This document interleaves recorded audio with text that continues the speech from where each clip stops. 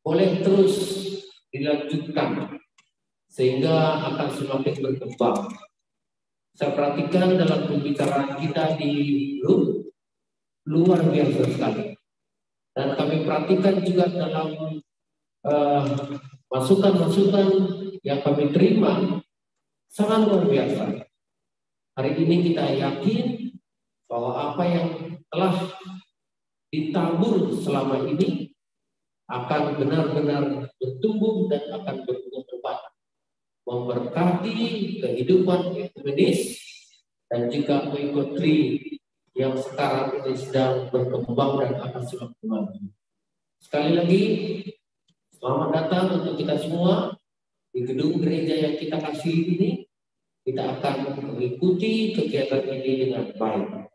Kami juga mengucapkan selamat datang untuk waktu guru yang pada kesempatan ini melalui Zoom dan rekan kami Bang yang ada bersama dengan kita di sini. Kami persilakan berdiri sudah lebih mengenal semuanya. Inilah putra daripada orang yang kita kasih. Kita sambung dengan penuh kasih kita. Ya. Tuhan memberkati. Baiklah, kita akan masuk kepada kegiatan inti kita yaitu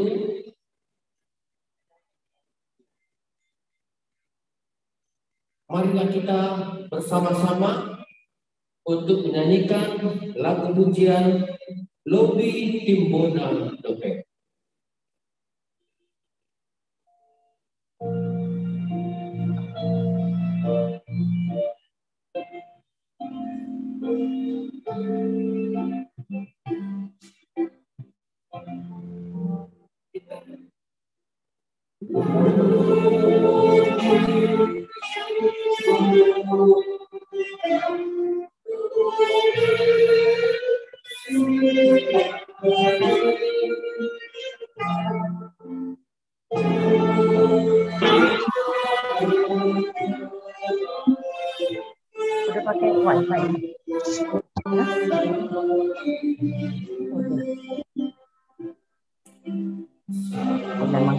Nggak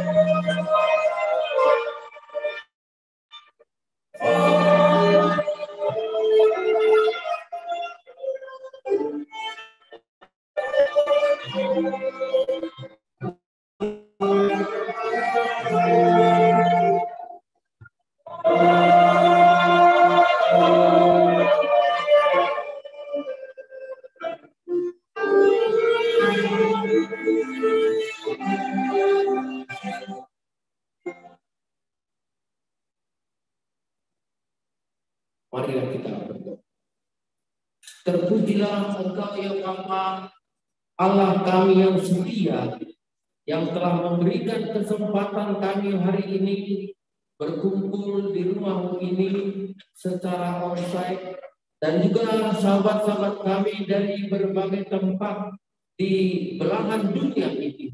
Bersatu hati merasakan betapa karunia Tuhan yang luar biasa bagi kami secara khusus yang berkumpul pada saat ini. Ketika kami mengenal hari ini satu tahun yang lalu seorang yang kami kasihi Eporus Nababan engkau panggil ke pangkuanmu biarlah apa yang telah diajarkannya yang telah diteladankannya dalam hidupnya boleh kami ikuti dan kami kembangkan. Tuhan berkatilah acara ini supaya kami boleh bersuka cita dan berbahagia serta kami boleh menjadi saksi-saksi kebenaran Tuhan di mana pun kami berada. Dalam nama Yesus kami berdoa dan bersyukur. Amin.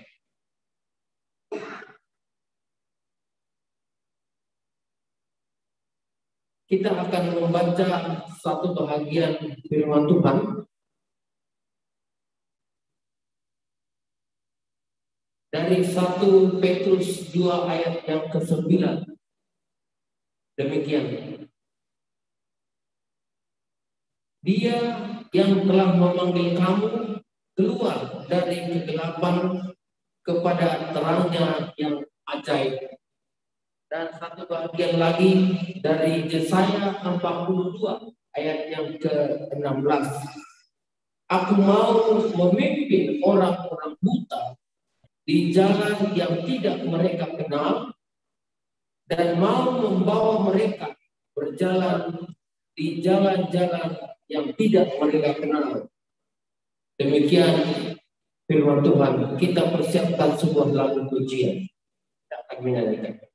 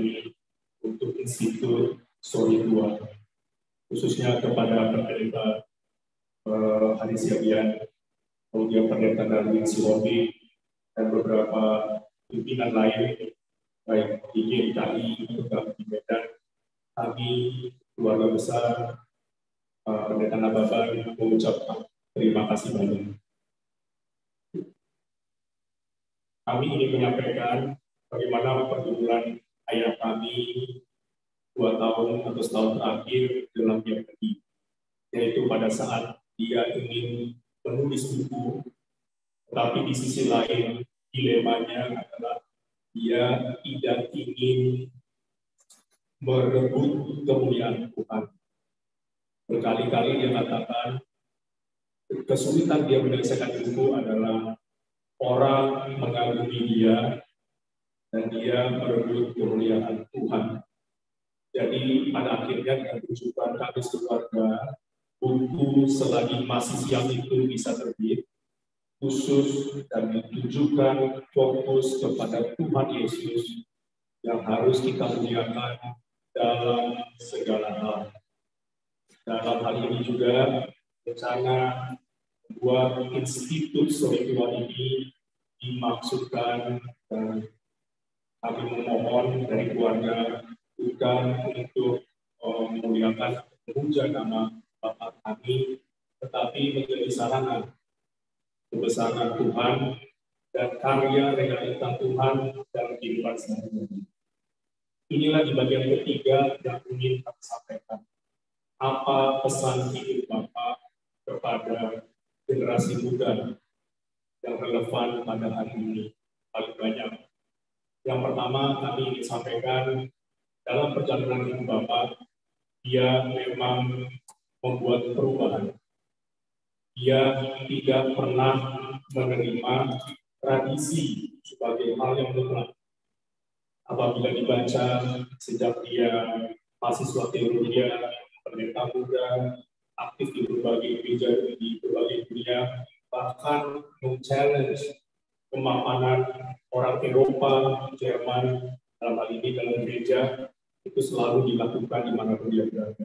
Dan tidak heran juga pada saat dia melayani KDP, dia melakukan perubahan.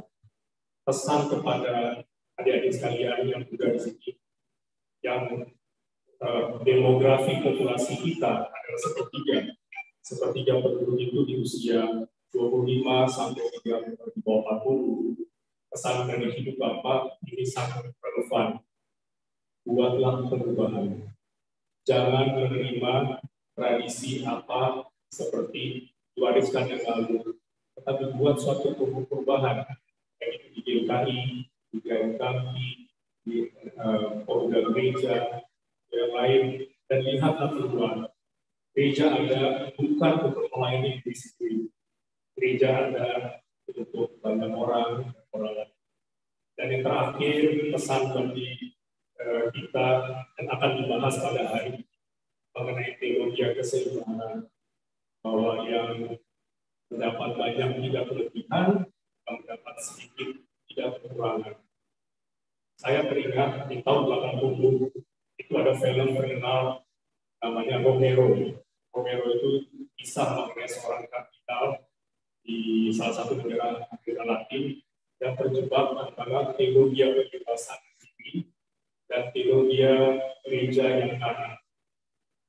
Saat itulah Bapak menyadari panggilan pemimpin gereja di tengah-tengah ini yang Teologi keseimbangan itu tidak menerima bahwa kiri, bahwa ideologi kiri adalah atau ideologi pasar bebas akan yang paling benar. Tetapi selalu ada dinamika di. Dan ini memang relevan bagi uh, bangsa. Itu saja yang ingin kami sampaikan kepada Bapak Ibu sekalian. Selamat berdiskusi dan selamat rencana bentuk yang paling tepat untuk situ sore keluarga Terima kasih Tuhan berkati.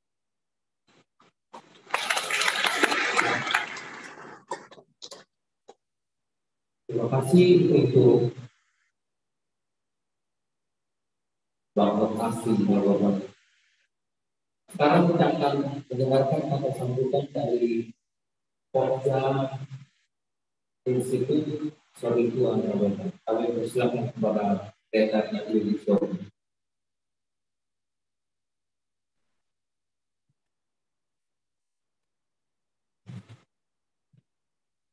Bapak saudara-saudara yang kami kasih khusus keluarga besar, itu sendiri yang banyak menginspirasi kami dalam tugas pelayanan yang sedang dilaksanakan dahulu dan hari ini juga yang akan datang. Saya dan Hanis Sedia bukan karena. Kami amat sibuk.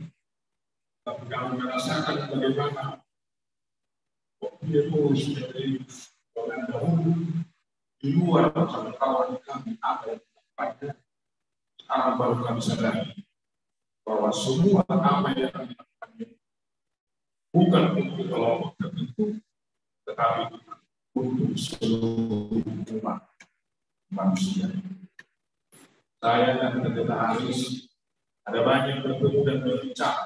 Mungkin belum tercatat apa yang sedang dilakukan, baik dalam mobil, dalam perjalanan ketika dengan kesulitan, dan sebagainya. Kami rasa ada banyak kawan-kawan di seluruh Indonesia dan bahkan di dunia ini yang merasakan apa yang pernah beliau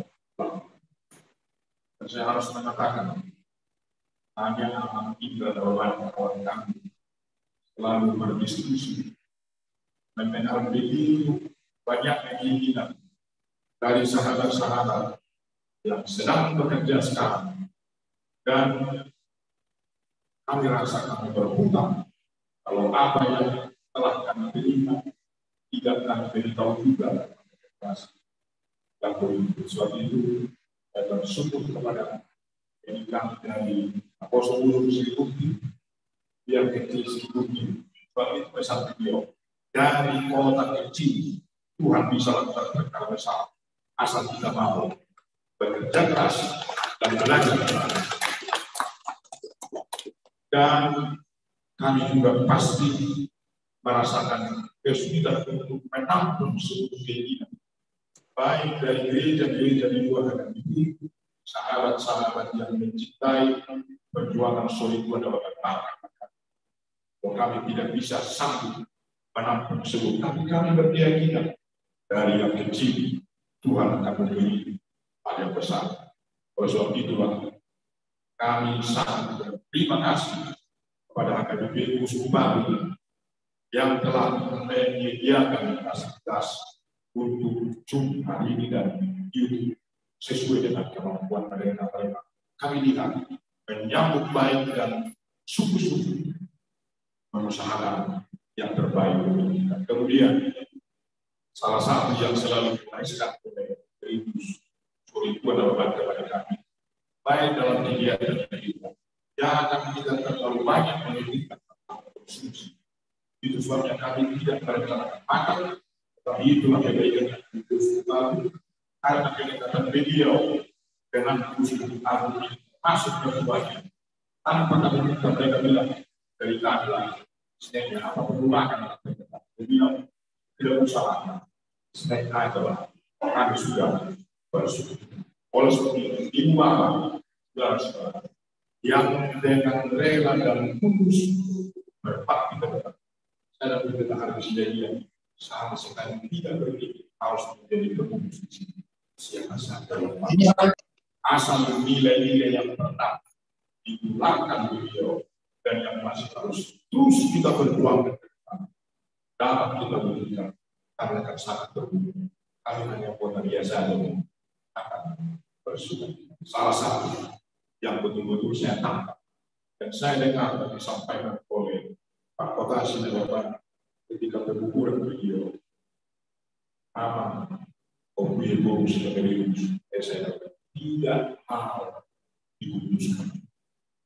Justru dia selalu berbunga. Jangan sampai merampas kemuliaan Tuhan. Saya percaya kalau itu dimiliki oleh seluruh orang seluruh generasi muda ke depan di zaman apa kita akan sanggup berjuang, sanggup menghadapi rintangan. Sebab Tuhanlah yang berkat. Karena itu sekali kami mengucapkan terima kasih atas kehadiran Ibu dan Bapak, juga kawan-kawan yang masih sedang menuju tempat ini, tapi juga yang sedang menuju sekarang, di mana pun Bapak Ibu berada. Salam hangat dari kami, Ibu Pokja, dan dari keluarga besar SKI Kabupaten. Terima kasih kita mendengarkan pikiran-pikiran dari kawan-kawan dan juga tanya jawab yang semoga menginspirasi kita untuk mewujudkan ke depan institut Sohibua Kabupaten. Sederhana aja dari pikiran kawan sekiranya bisa video, bisa kita PDF. Sekiranya di Simol Korong, sebab apa dulu sekarang di daerah wisata, ada di situ museum atau apa saja di tempat beliau beristirahat sekarang sehingga bisa mengunjungi tempat itu dan saya kira dengan potensi saudara-saudara dan ibu bapak yang dulu sekarang di pemerintahan bisa saya kira mengalokasikan pikiran supaya tempat ini menjadi daerah wisata yang rohani dan yang bisa mengembangkan kita ke depan. Dan tentu saja saudara-saudara yang hadir di sini boleh itu berpartisipasi. Terima kasih, Oras, dan selamat sore.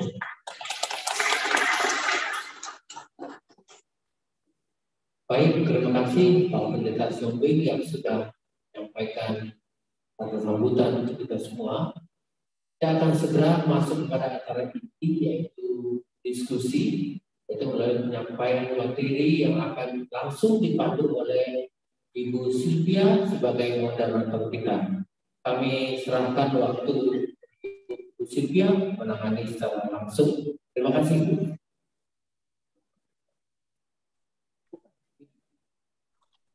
Terima kasih. Selamat sore. Shalom kepada kita semua. Horas, Ibu Ibu Alida yang saya hormati, saya cintai, senang melihat Ibu sehat. Sudah lama kita tidak berjumpa. Uh, Bapak Hotasi, uh, panitia penyelenggara uh, memoriam lecture kita pada sore hari ini yang saya hormati dan yang dikasihi Tuhan.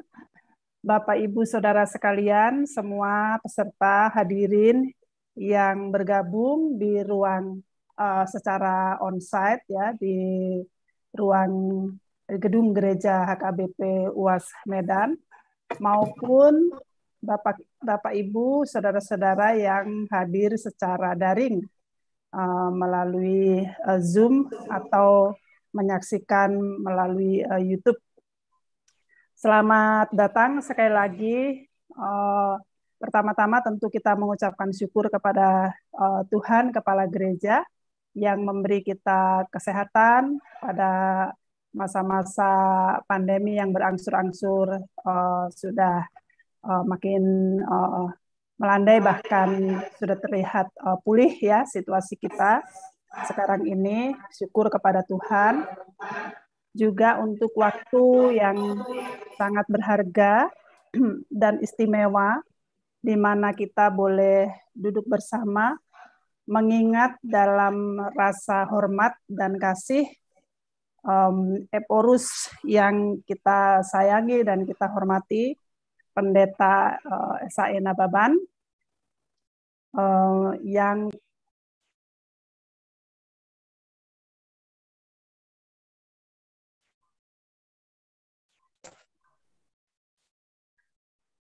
Eporus uh, Bapak Pendeta Esai Nababan yang pada hari ini setahun yang lalu telah dipanggil Tuhan, dimuliakan Tuhan pulang ke rumah Bapak yang uh, kekal. Dan kita akan uh, mengingat rayakan kehidupan beliau melalui uh, diskusi ya acara memoriam lecture pada sore hari ini dan bersama-sama uh, dengan kita telah hadir empat narasumber yang akan memfasilitasi diskusi dengan paparan mereka masing-masing ya. Saya akan memperkenalkan diri dulu. Nama saya Silvana, saya pendeta GPIB. Saya mengenal secara pribadi pendeta saya Nababan, bahkan dengan Ibu Alida. Dan saya merasa terhormat diberi kesempatan oleh panitia untuk mem memoderasi ya memoderasi memoriam lecture pada sore hari ini. Um, walaupun waktu persiapan kita terbatas, tapi saya yakin karena semangat kita semua dan uh, karena um, kita ingin agar gereja-gereja uh, dan publik uh, masyarakat luas bangsa Indonesia uh, dapat uh, belajar dan mengingat dan meneruskan pikiran-pikiran serta kiprah sosial pendeta Saina Baban melalui diskusi kita pada sore hari ini yang mau uh, mengangkat ya mengangkat poin-poin penting pokok-pokok penting dari pikiran dan kiprah Bapak saya Nababan yang akan direfleksikan oleh para narasumber kita. Bapak Ibu sekalian, um, ada empat narasumber tadi saya sudah uh, jelaskan. Yang pertama kita uh, dihadir bersama kita Profesor Dr. Hotman Sihaan saya yakin kita semua mengenal uh, beliau. Beliau akan uh, beliau adalah uh, guru besar di UNER Universitas Erlangga Surabaya. Beliau akan um, menyampaikan kepada kita um, analisis dan refleksi beliau mengenai um, pikiran-pikiran pendeta Saina Baban uh, dan membacanya sebagai sebuah uh, apa uh, tafsir sosial gitu ya kira-kira ya uh, dengan topik keseimbangan dalam dimensi sosial. Kemudian bersama kita juga ada uh, narasumber kita yang kedua, Pendeta Mestika Nusantara Ginting, STH Master Psikologi. Uh, Ibu Pendeta adalah Ketua Bidang Diakonia Modramen GBKP yang akan membaca, ya, membaca dan merefleksikan pikiran-pikiran dan praksis berteologi pendeta Saina Baban dalam kerangka topik uh, tema keseimbangan uh, dalam refleksi dan aksi gereja.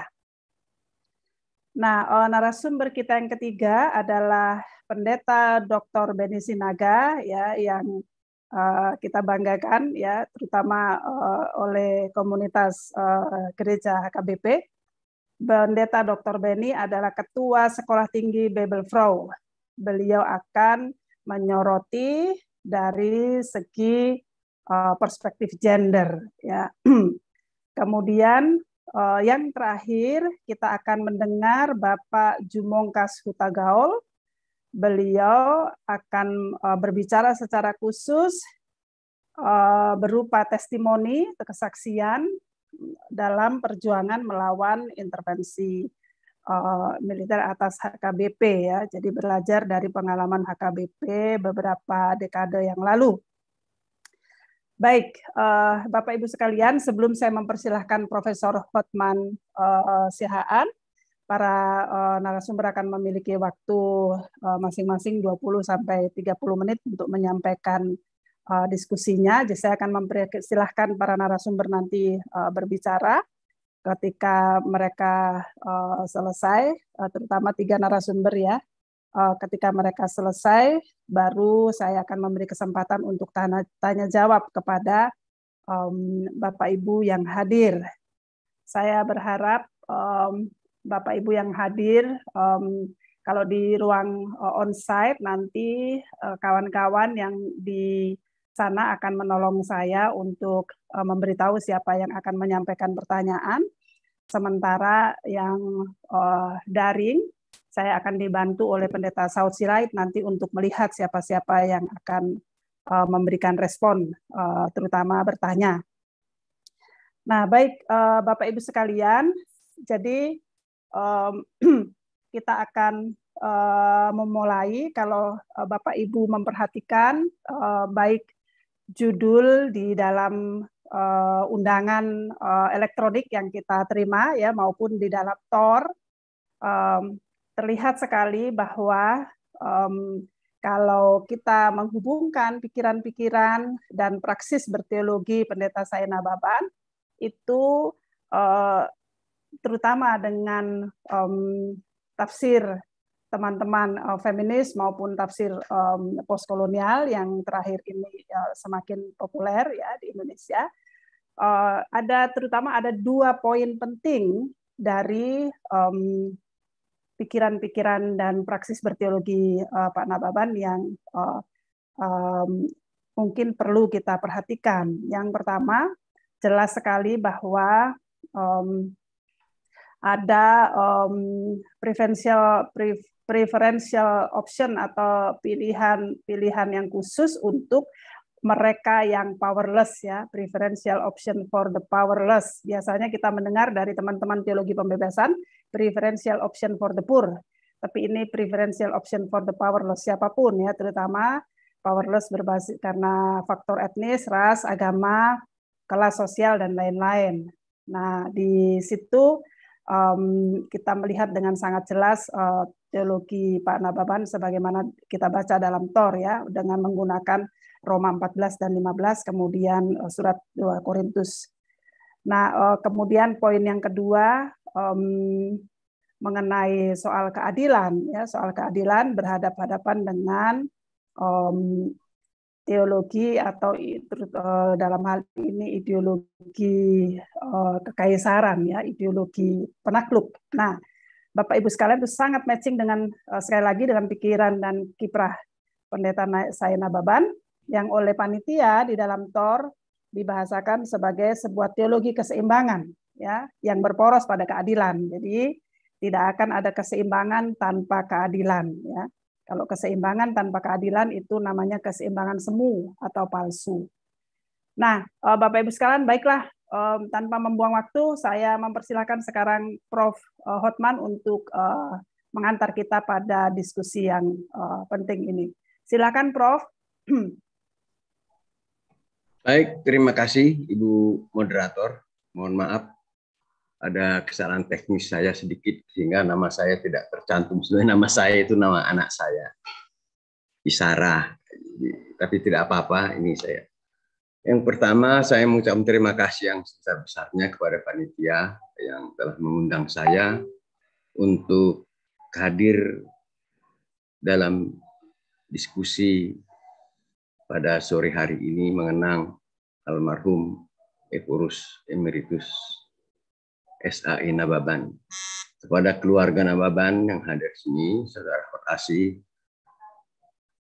saya mengucapkan selamat atas keterlibatan keluarga Nababan di dalam acara Ibu Bapak yang saya hormati, pengenalan saya terhadap sosok SAI Nababan bermula jauh lama sekali Bahkan saya hampir dekat dengan semua keluarga ini, baik dengan Pak Indra Nababan, Anda Nababan, Asmar Nababan, Leo Nababan, dan Pendeta John Nababan. Maaf, ada suara yang masuk ya? Iya, ada suara yang bocor dari mana ya itu? Mungkin bisa di mute dulu ya. Baik, saya lanjutkan. Lanjutkan, ya. Tapi saya akan mencoba dalam uh, memorial lecture sore hari ini untuk membaca sosok SAI Nababan dalam fenomena yang saya pahami secara pribadi dari pengenalan saya secara pribadi dengan beliau di beberapa kali pertemuan.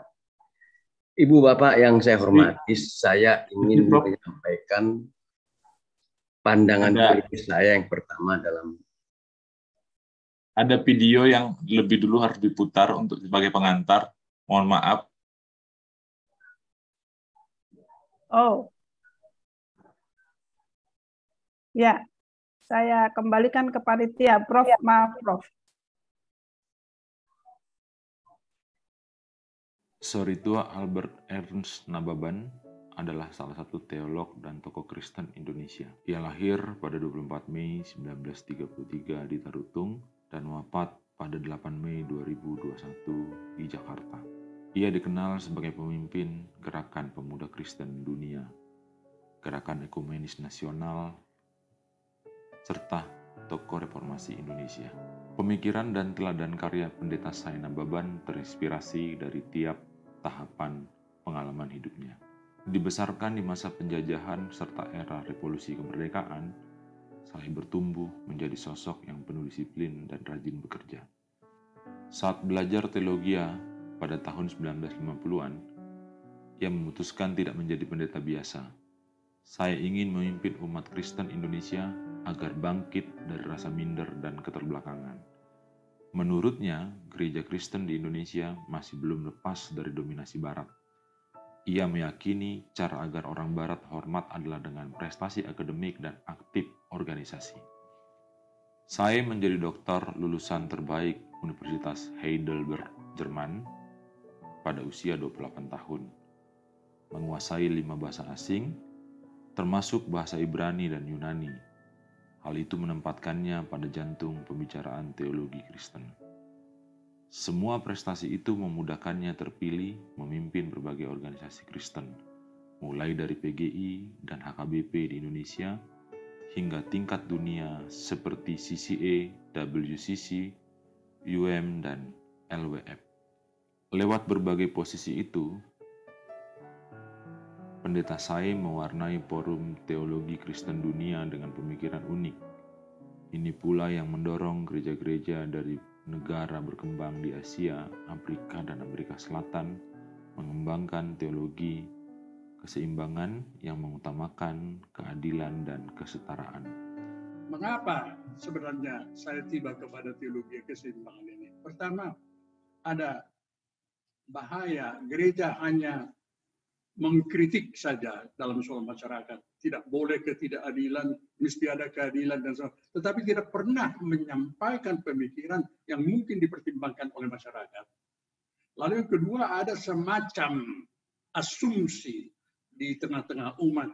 Seolah-olah bila seseorang atau satu gereja atau satu kelompok makmur itu diberkati Tuhan. Sedang yang lain tidak.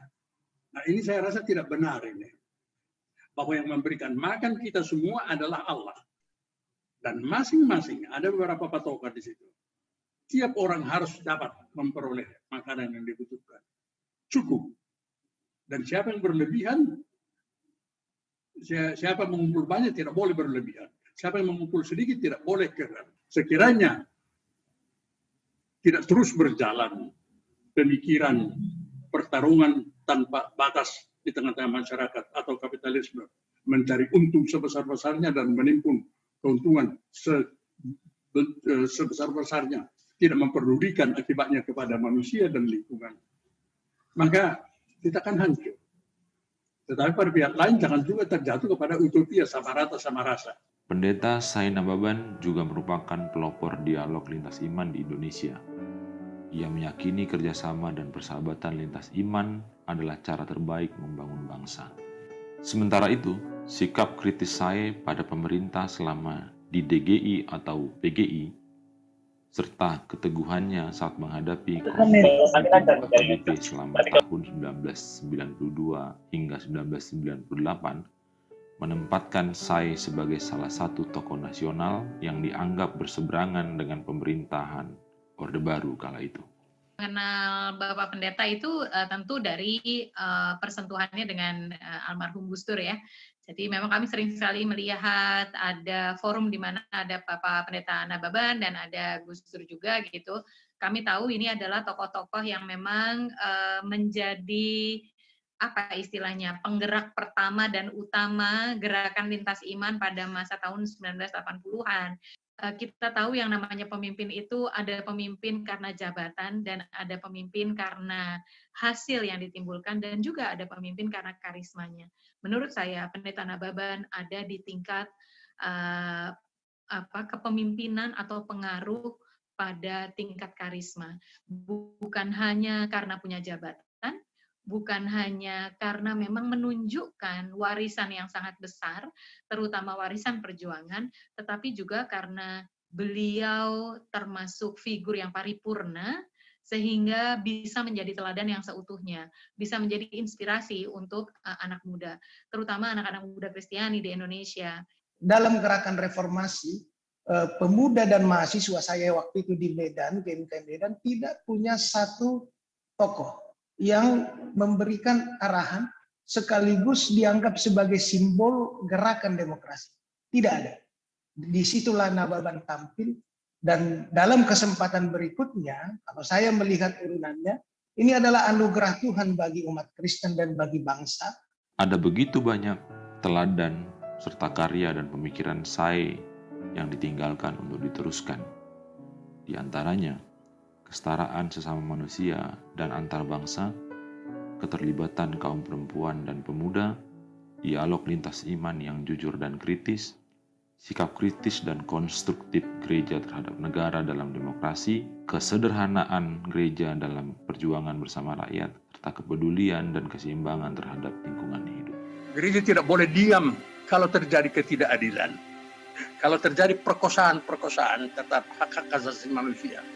Kalau terjadi pembatasan kebebasan-kebebasan, gereja harus bersuara. Apa didengar atau tidak? Kalau di kalau dihukum karena itu silahkan tapi yang untuk itu gereja ada. Kalau tidak, tidak ada gunanya gereja.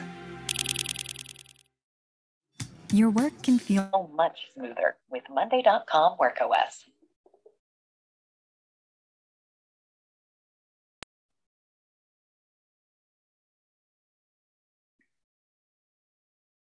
Panitia, apakah videonya sudah selesai?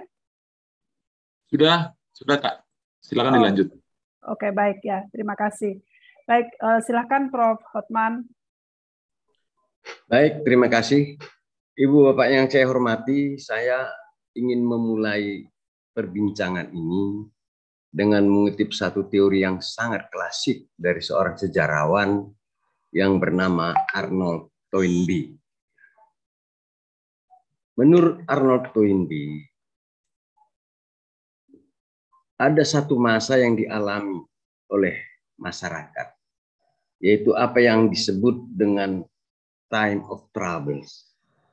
Ketika masyarakat itu mengalami satu situasi yang disebut dengan time of trouble atau time of tribulation, yang kalau menggunakan istilah Toynbee disebut dengan senwise yam saikulum, yaitu zaman yang tiba-tiba menjadi sangat rentah, zaman yang tiba-tiba menjadi sangat tua. Dan dia tidak punya lagi stamina. Zaman yang semakin menua ini dan tidak memiliki lagi stamina untuk bertahan. Dan kehilangan semangat. Dan kekuatannya memudar. Dan terjadi kemerosotan di mana-mana. Di masa kalau kita mengutip, mengutip Ronggo Warsito misalnya, Senwise Iam Saikulum yang disebutkan oleh Toynbee itu mungkin bisa dianalogikan dengan situasi zaman edan di dalam tulisan Ronggo Warsito atau disebut dengan situasi yang namanya kolotido. Situasi yang tidak menentu, situasi yang di mana-mana orang mengalami kehilangan banyak hal. Ada satu kebangkrutan kultur dan di dalam kondisi apa yang disebut dengan kebangkrutan kultur ada beberapa hal yang muncul. Yang pertama adalah di mana kaum minoritas yang mempunyai kekuatan kreatif atau yang biasa disebut dengan kreatif minority ini sudah kehilangan kreativitas dan tidak bisa lagi menjalankan fungsinya. Yang kedua, mayoritas masyarakat tidak mau lagi bermimesis. Artinya tidak lagi mau meniru minoritas kreatif itu. Dan karena itu juga mereka menarik dukungannya terhadap ide-ide dari kreatif minority. Dan yang ketiga adalah akibat kedua hal tersebut yaitu kehilangan apa namanya eh, kreatif minority tidak berfungsi dan masyarakat tidak lagi bermimesis, muncullah apa yang disebut dengan mengendurnya kesatuan sosial di dalam masyarakat. Dalam situasi yang semacam ini terjadilah apa yang disebut krisis keteladanan. Kalau menggunakan bahasa Jawa di dalam di dalam bukunya Ronggo Warsito itu disebut pangrehing akoro karena tanpa palu hilang seluruh tatanan kenegaraan karena tidak adanya keteladanan. Rusak semua peraturan negara karena tak ada keteladanan. Nah, kecuali terjadinya krisis keteladanan, juga terjadi krisis tanggung jawab di zaman yang time of troubles disebut oleh Toynbee itu terjadi krisis pendirian. Semua orang atau anggota masyarakat hanya saling ikut-ikutan. Dan itu pun tidak supaya mereka ikut-ikutan supaya mereka merasa tidak ketinggalan di dalam pergerakan zaman itu. Manusia yang kehilangan pendirian ini membuat manusia yang tidak jujur terhadap dirinya. Manusia menjadi mudah berbohong, mudah mengatakan yang tidak benar, atau karena dia tidak jujur, dia mengatakan kebenaran, padahal sebenarnya dia tidak benar. Kebohongan, ketidakjujuran menjadi iklim, sehingga orang yang tidak bermaksud bohong pun terpaksa berbohong. Lebih gawat lagi sebenarnya kebohongan menjadi sarana berkomunikasi. Kita alami sekarang dan bencana hoax ini. Kenapa? Karena hanya dalam kebohongan komunikasi bisa dijalankan. Orang satu sama lain dalam kebohongan. Maka bahasa yang mereka pakai juga adalah bahasa kebohongan. Kalau mereka tidak hidup dari kebohongan, tidak berkomunikasi di dalam kebohongan dan memakai bahasa kebohongan, mereka akan ketinggalan dan tidak mendapat apa-apa. Ini entry point saya untuk menyatakan kita sedang berada di dalam satu time of troubles. Kita sedang mengalami krisis keteladanan. Sangat sulit kita mencari. Kalau kita mati-matian sekarang sedang berupaya untuk memberantas korupsi hampir tidak banyak orang mengatakan siapa yang kita jadikan sosok contoh teladan yang betul-betul tidak korupsi di negara.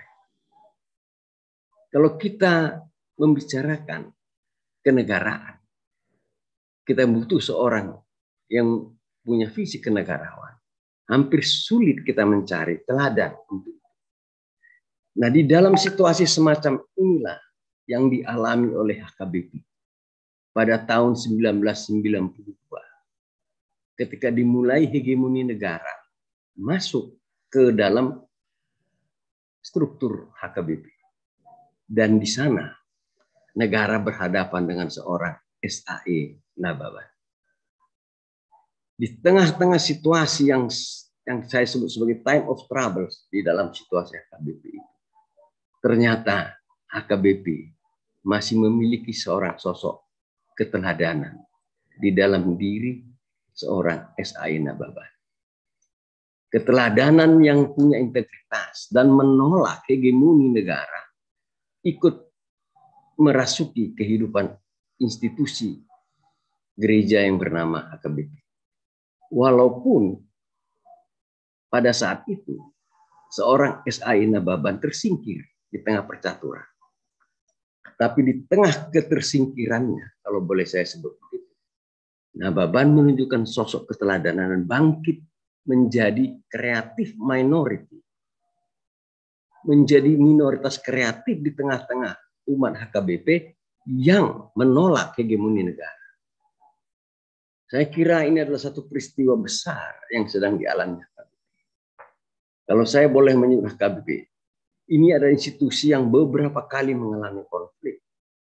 Tetapi di dalam kondisi sebagai gereja Batak, SAI Nababan memilih tidak seperti penyelesaian konflik-konflik HKBP sebelumnya. Ketika pendeta Manula menolak hegemoni Barat masuk ke HKBP, dan dia kemudian mendirikan Kuria Kristen Batak, itu adalah dalam bahasa orang Batak disebut Hutam. Dia membuka desanya sendiri keluar dari HKBP. Konflik KKBP yang melahirkan yang disebut dengan GKPI itu juga mengikuti tradisi Hutam. GKPI mendirikan gereja. Tapi pada konflik HKBP tahun 1992 sampai 98 itu seorang SAI Nababan tidak memilih jalur. Dia tetap bertahan di dalam atas nama HKBP. Walaupun kemudian disebut oleh kelompok-kelompok tertentu dalam konflik itu disebut sebagai SSA, setia sampai akhir. Tetapi Nababan tidak memilih jalan untuk keluar. Dia tetap bertahan di dalam kondisi apa pun di tengah-tengah atas nama HKBP. Dan pertarungan itu melahirkan kehabisan stamina. Ya, tadi disebut oleh Toimbi. Tiba-tiba kebudayaan HKBP itu tua mendadak. Tiba-tiba dia mengalami kebangkrutan kultur. Tetapi di tengah-tengah semacam itu, Nababan menolak untuk kebangkrutan itu dan memilih menjadi seorang kreatif minority dengan melahirkan yang saya sebut di dalam diskusi-diskusi kami tahun-tahun 90-an itu ketika saya masih terlibat ikut dengan teman-teman AKBP yang meng, apa, me, di bawah kepemimpinan SN Ababan lahirlah satu teologi yang menurut saya ini semacam teologi yang membangkitkan spiritualitas yang luar biasa di dalam kehidupan warga HKBP ketika itu. Teologi itu saya sebut di sana.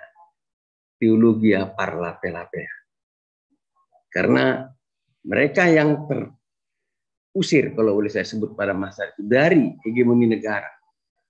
Tertendang keluar melahirkan gerejanya sebagai tempat persinggahan. Narlape-lapean itu adalah dangau, itu adalah gubuk sementara tempat orang untuk berlindung. Dan di tengah-tengah kegalauan situasi yang semacam itu, saya melihat seorang S.I. Nababan membangkitkan spiritualitas yang luar biasa di tengah-tengah warga HKBP. Saya kira dengan demikian HKBP bisa me, me, melakukan counter hegemoni terhadap kekuasaan negara yang begitu keras untuk memaksakan kehendaknya atas kepentingan negara. Di dalam situasi semacam ini, sosok keteladanan itulah yang saya kira sampai hari ini masih menjadi dasar bagaimana kita mengenang seorang SAI Bapak. Keteladanan yang punya integritas, keteladanan yang sangat jujur di dalam menjelaskan seluruh prinsip teologi yang disebut dengan teologi keseimbangan yang dikembangkan di di mana-mana. Bahwa orang yang memperoleh banyak jangan sampai berlebihan, tapi orang yang kekurangan juga yang memperoleh sedikit jangan sampai kekurangan. Keseimbangan semacam itu di dalam perspektif ilmu sosial, saya kira itu adalah sebuah pendekatan fungsionalisme yang ingin menjaga harmoni di tengah-tengah situasi keberagaman masyarakat. Ada semacam keinginan untuk mempertahankan harmoni di antara dalam di dalam kehidupan masyarakat Nababan muncul sebagai tokoh untuk melakukan perlawanan dengan seluruh kesadaran dan integritas teologi yang dimilikinya. Sebagai sebuah gerakan sosial, teologi parlape-lapean itu muncul menjadi kekuatan dan di mana pun gerakan sosial itu pada dasarnya adalah sebuah upaya untuk menolak kekuasaan yang mereka menganggap bahwa kekuasaan itu sudah kehilangan dimensi moral. Kekuasaan yang sudah kehilangan dimensi moral atau kekuasaan yang yang sudah dianggap tidak lagi memiliki sesuatu yang bisa diberikan kepada masyarakat itu akan membentuk sebuah perlawanan yang disebut dengan gerakan sosial. Dalam konteks gerakan-gerakan sosial, terutama gerakan sosial keagamaan yang dilakukan oleh SAI Nababan, ini adalah satu gerakan tidak sampai kepada apa yang sudah dalam konteks gerakan keagamaan sebagai sesuatu apa, eh, sebagai suatu hegemoni baru untuk melahirkan teologi baru, tetapi sebuah gerakan keagamaan yang menguatkan integritas setiap orang bahwa gereja tidaklah sesempit gedung-gedung yang ada. Gereja bukanlah ruang-ruang yang dibatasi. Gereja adalah seluas kepentingan masyarakat di mana dia ingin melakukan penerapan aspek spiritual dan teologi keagamaan yang dia miliki. Saya kira di dalam konteks semacam itu, SAI Nababan menjadi sebuah sosok yang layak diteladani dan menjadi sebuah institusi yang sangat penting di dalam melihat bagaimana masyarakat bisa melawan kekuasaan. Kita mengetahui bagaimana pada saat itu semua bentuk gerakan yang menolak negara atau katakan anti negara ditumpas dengan sangat sistematis. Tetapi seorang SAI Nababan telah melahirkan satu inspirasi ingin merevitalisasi kebudayaan beragama dengan sangat teguh di dalam teologinya. Apa yang disebut dengan teologi keseimbangan. Teologi parlape-lapean itu adalah satu teologi yang menurut saya itu adalah bentuk dari pernyataan moral satu masyarakat terhadap kekuasaan yang dianggap tidak lagi memberi inspirasi, tidak lagi memberi keteladanan, dan tidak lagi memberi kekuatan di dalam kehidupan orang beragama. Saya kira ini satu persoalan besar yang selayaknya menurut saya dieksplorasi kembali oleh para teolog-teolog HKBP sekarang ini untuk melihat bagaimana spiritualitas bangkit di tengah-tengah tekanan yang sangat hebat dari hegemoni negara terhadap satu organisasi keagamaan semacam HKBP. Kalau kita memahami apa yang digambarkan oleh S.A. Naban dalam teologi keseimbangan yang menurut saya tadi merupakan suatu kesadaran baru untuk mencoba melihat bahwa gereja tidak boleh berdiam diri di tengah-tengah situasi masyarakatnya. Gereja harus bangkit menjadi satu institusi kreatif minority yang memberi keteladanan dan memberi inspirasi ke dalam masyarakat sehingga masyarakat ini tidak kehilangan stamina di dalam melakukan kesadaran atau penerapan spiritualitasnya menghadapi kehidupan beragam. Sosok semacam S.I. Nababan saya kira sangat jarang kita temui. Ini adalah satu sosok yang muncul di tengah-tengah anomali yang melahirkan satu paradigma baru di dalam kehidupan beragama, khususnya di dalam HKBP. Saya kira itu yang saya bisa sampaikan di dalam kesempatan ini mengingat waktu yang sangat dibatasi. Terima kasih Ibu Moderator. Terima kasih Prof.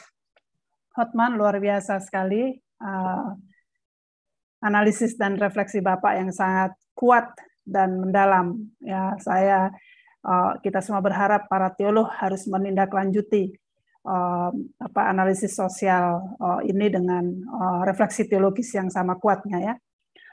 untuk kemudian digunakan oleh gereja-gereja di Indonesia bukan hanya KBP ya untuk hadir sebagai gereja yang menjadi teladan dan memberi inspirasi kepada masyarakat.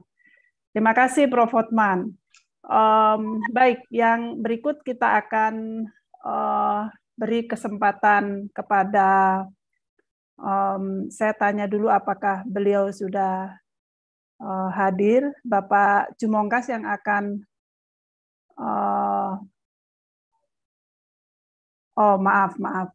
Ya kita uh, langsung kepada pendeta Mestika dulu ya. Tadi saya sudah tulis Bapak Jumongkas di bagian akhir akan uh, memberikan testimoni. Ibu Pendeta Mestika Nusantara Ginting uh, sebagai uh, narasumber kita yang kedua yang akan menyampaikan paparannya.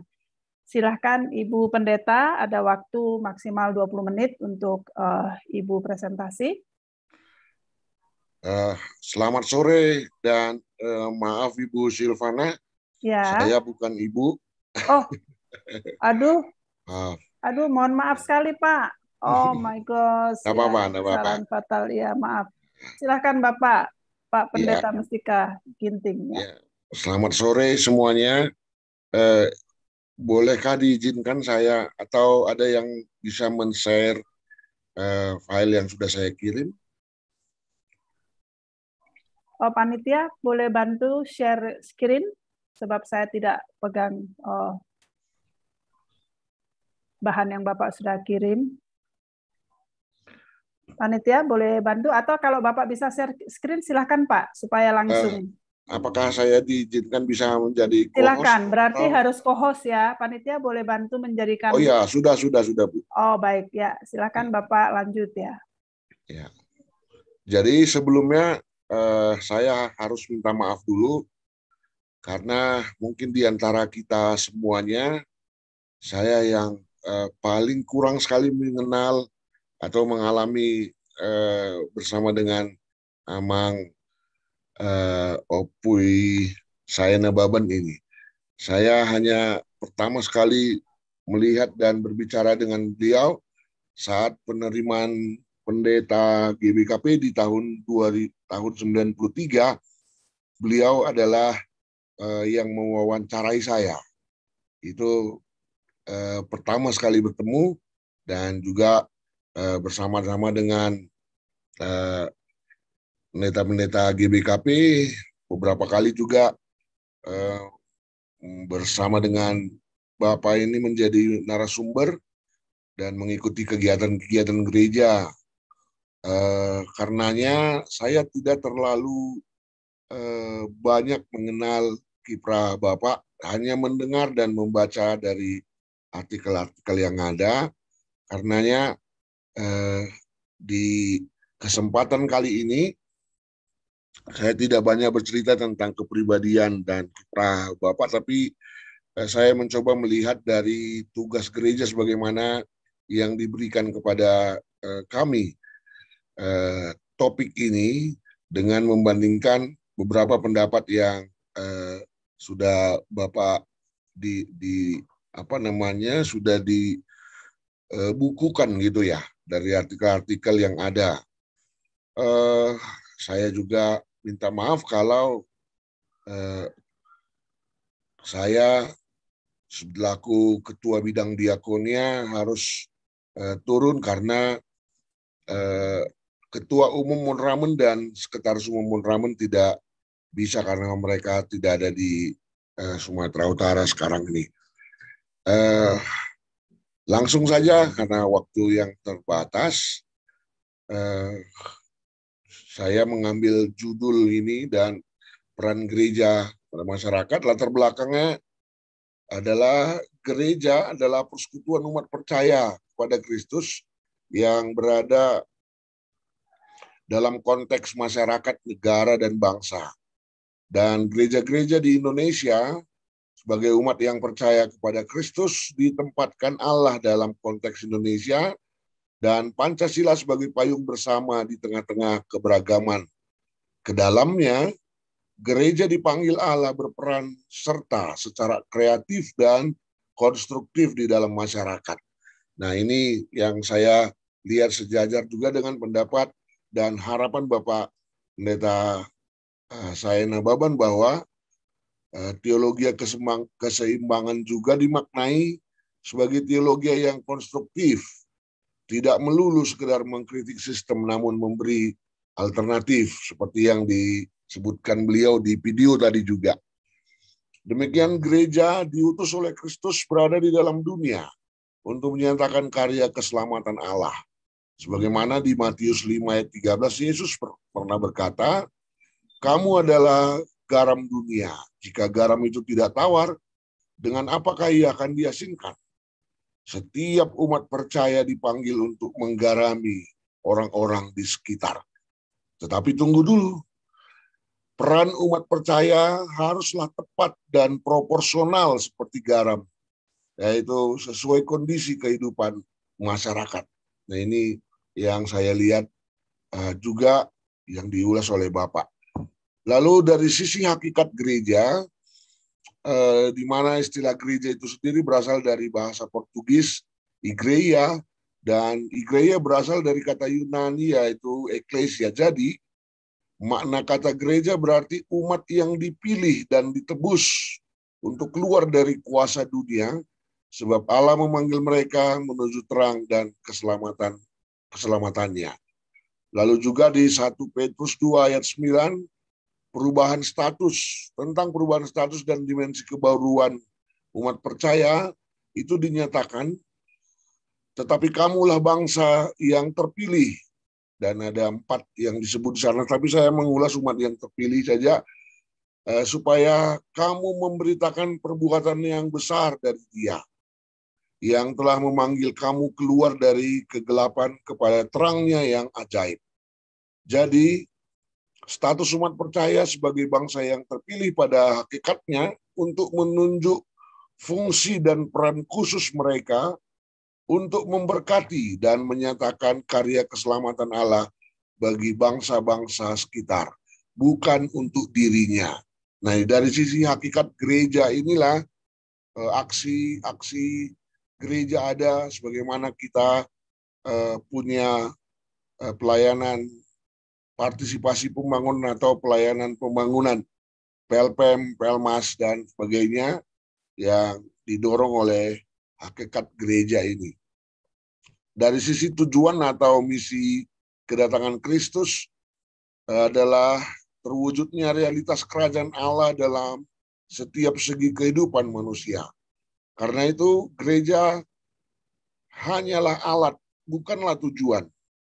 Sebagai alat gereja dipanggil untuk taat dan setia kepada Kristus agar mampu menjadi agen-agen perubahan yang efektif.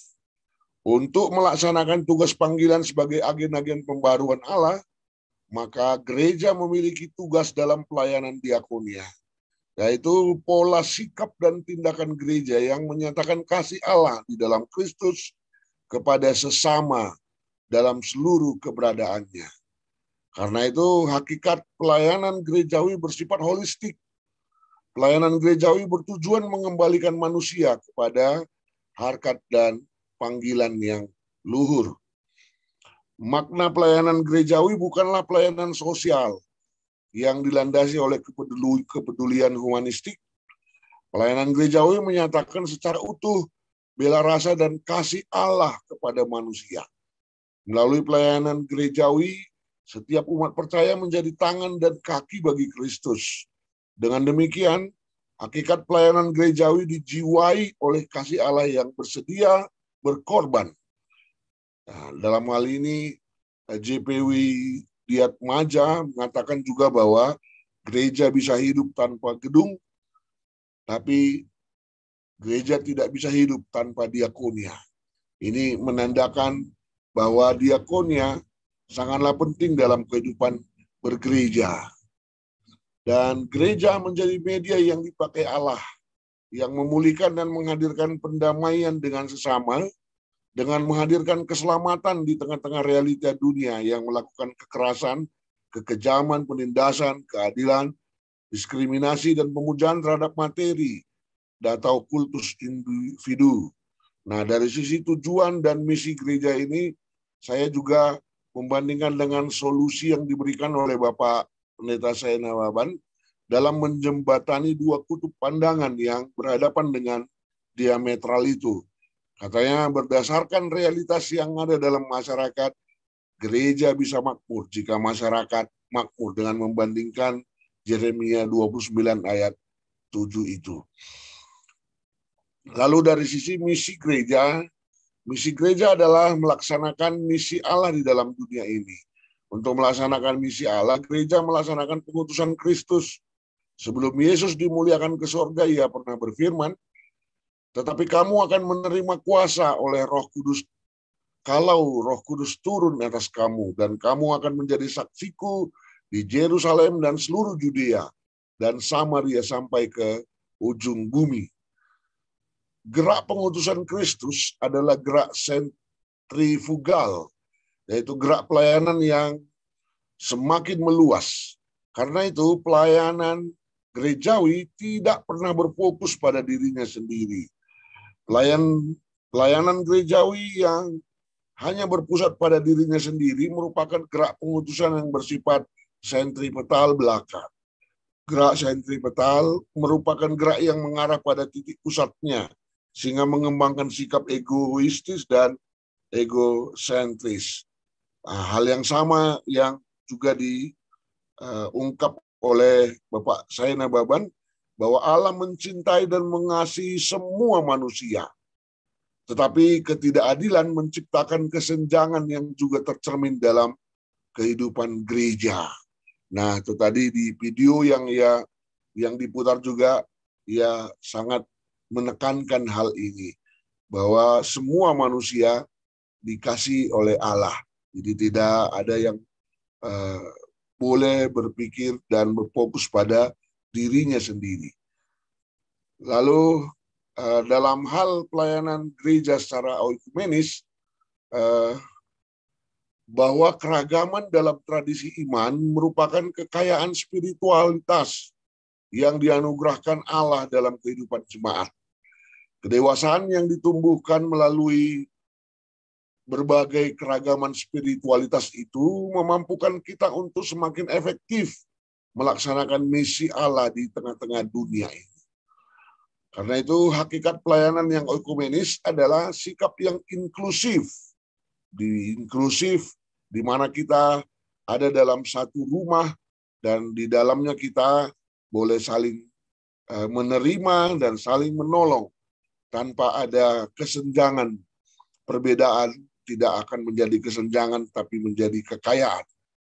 Dan pelayanan yang oikumenis dinyatakan dalam kehidupan sehari-hari yang nyata sebagai tubuh Kristus sehingga setiap umat dari berbagai latar belakang denominasi bersedia saling bekerja sama dan saling melengkapi.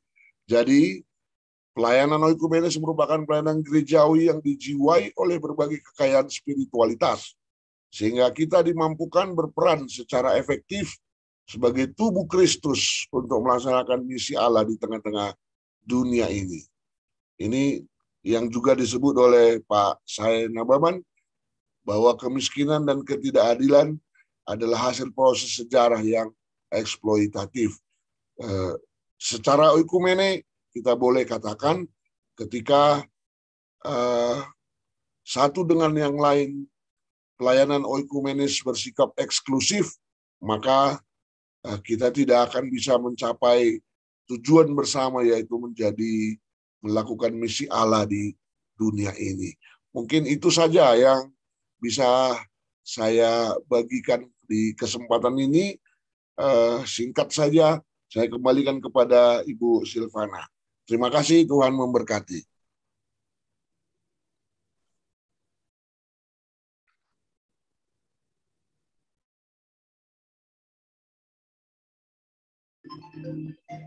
Baik, terima kasih banyak Pak Pendeta Mestika, uh, luar Halo, biasa. Pak. Ya.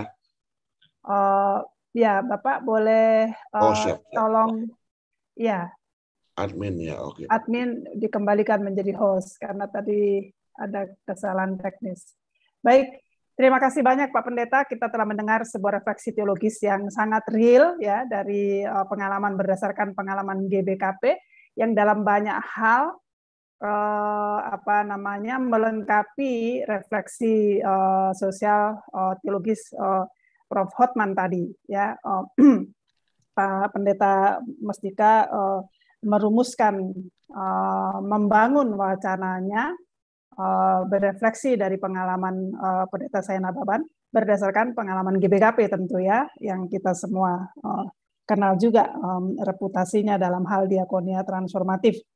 Baik, terima kasih Pak Pendeta. Kita sekarang akan uh, bergeser ke narasumber yang terakhir. Saya mendapat informasi dari panitia bahwa Ibu Pendeta, eh, Ibu uh, Dr. Um,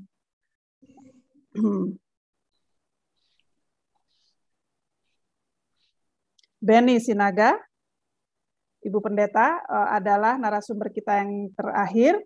Uh, Ibu Pendeta Benny, Ketua Sekolah Tinggi Frau HKBP, beliau akan sangat presentasi beliau sangat uh, kunci bagi kita karena uh, berdasarkan pengalaman uh, Bebel Sekolah Tinggi Frau maupun kelompok perempuan HKBP dan pengalaman beliau pribadi akan merefleksikan pemikiran dan praksis berteologi uh, Pendeta Saina Baban. Eh, dengan menggunakan eh, lensa dan perspektif gender. Kira-kira begitu ya. Ibu Pendeta silahkan. Ibu punya waktu 15 menit paling banyak. Kalau mau minta uh, tambahan boleh sedikit lah nanti. Silahkan Ibu Pendeta Beni. Baik, terima kasih kepada Ibu Pendeta Silvana Uh, Horas dan selamat sore untuk kita semuanya. Salam dan hormat saya untuk keluarga besar almarhum Opui Emeritus SAE Nababan dan juga demikian terima kasih kepada panitia yang melibatkan saya di dalam diskusi kita pada sore hari ini.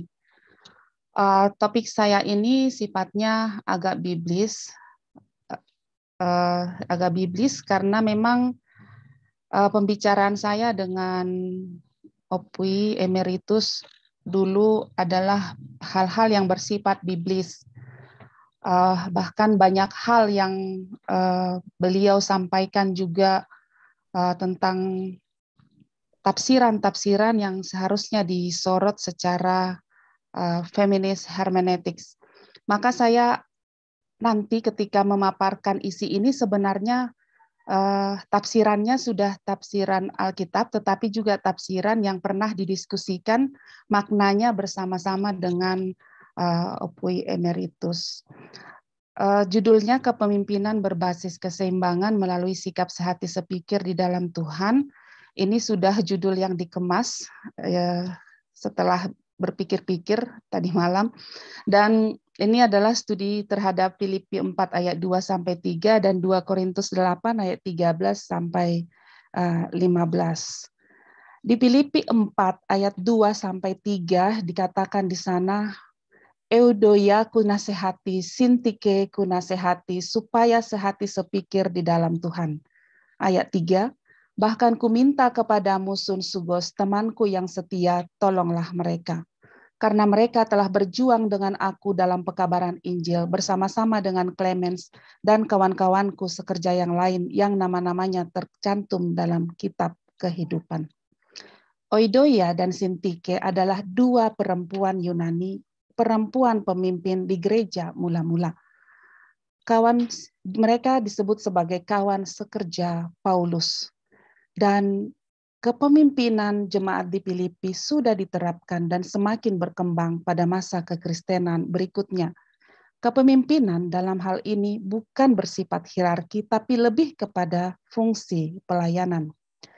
Paulus menyebut kedua perempuan itu sebagai kawan-kawanku sekerja, co-workers, sunergonmu, jembatan antara Paulus dan mereka yang memelihara kehidupan iman jemaat di Filipi memanggil kedua perempuan itu dengan kawan sekerja merupakan jembatan Paulus dengan jemaat di Filipi.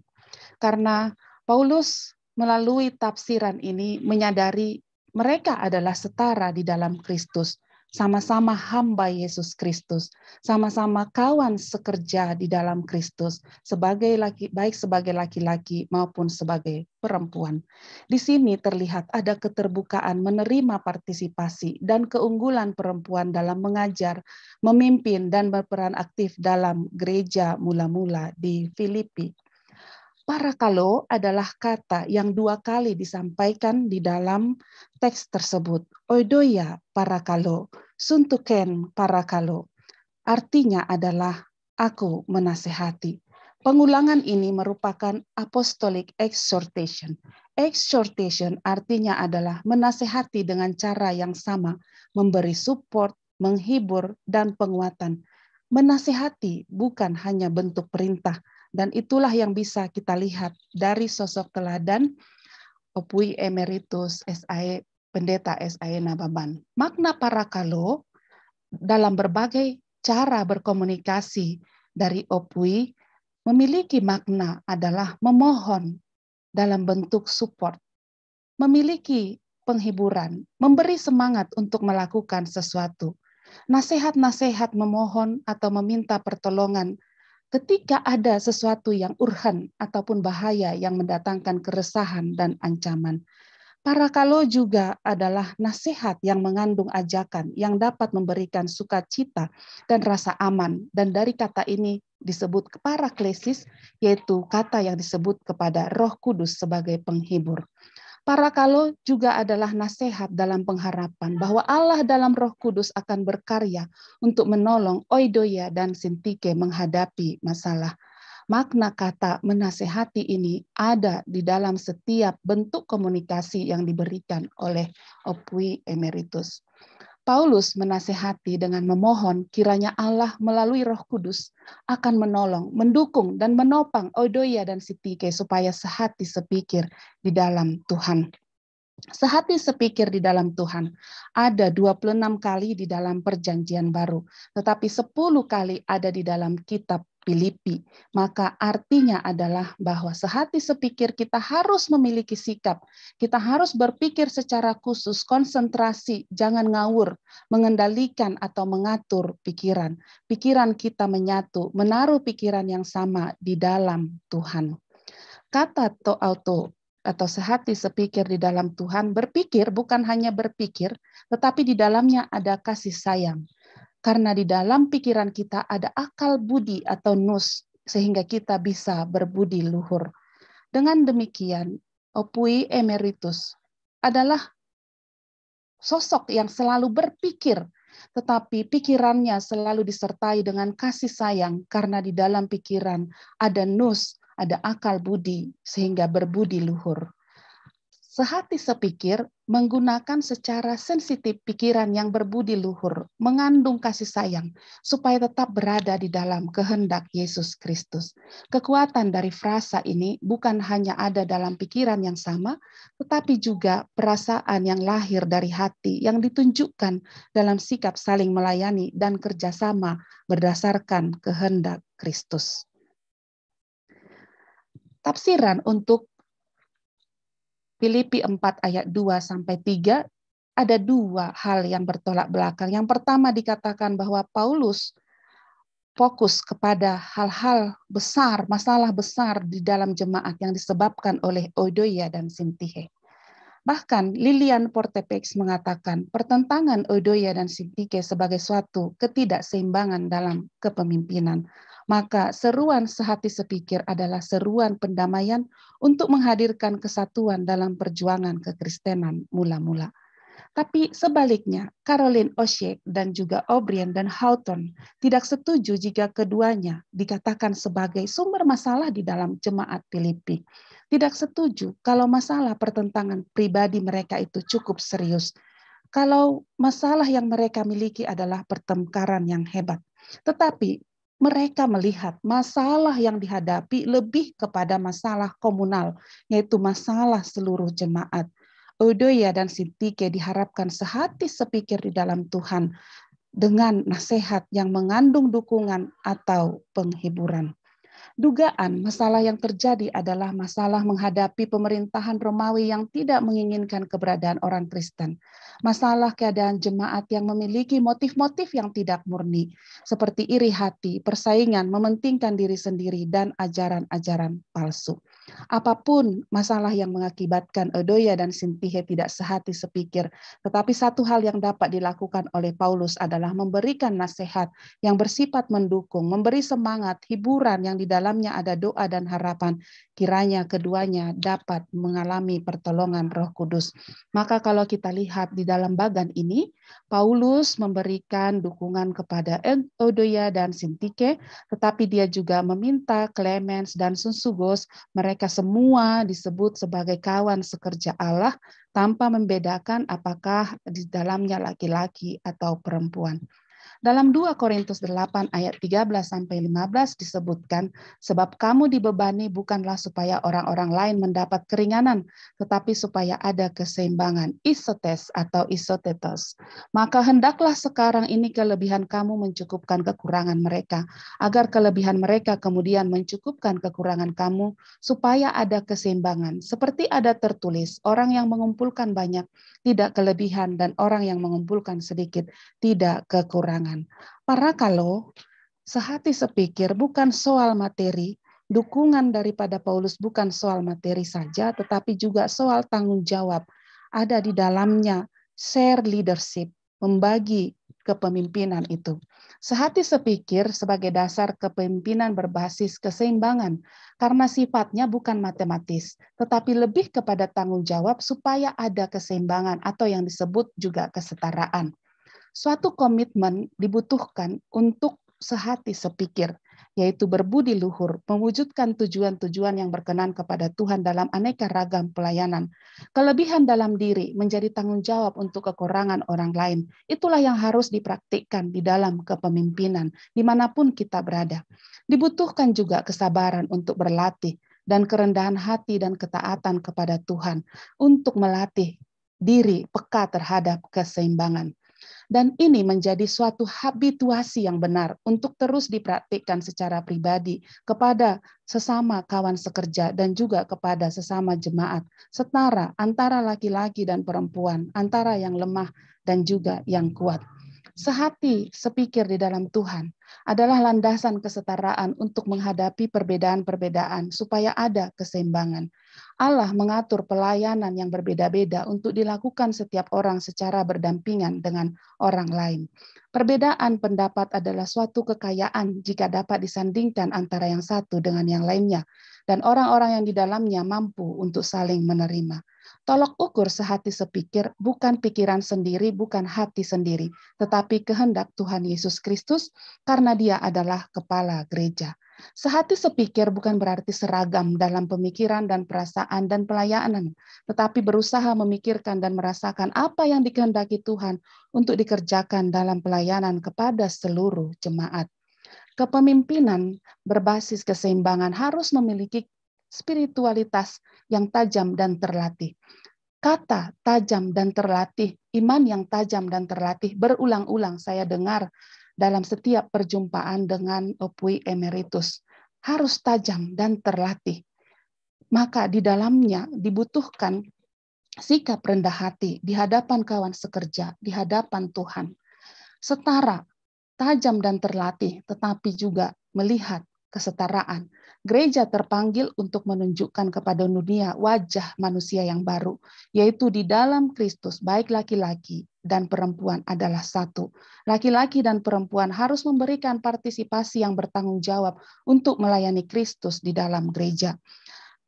Untuk kepemimpinan yang seimbang, sehati sepikir, tajam dan terlatih, perlu juga menghargai kawan-kawan sekerja, mengingat perjuangan bersama sebagai suatu gereja.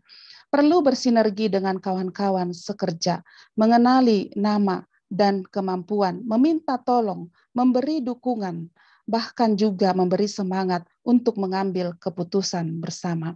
Perlu komitmen dan kerjasama melalui sikap sehati sepikir di dalam Tuhan. Otoritas dalam kepemimpinan memiliki karakter yang bertanggung jawab di hadapan Allah supaya terus dilatih dan dipraktikkan dalam kerjasama dengan seluruh komunitas. Contoh kepemimpinan yang seimbang itu disebut dengan kepemimpinan personal, kolegial, komunal.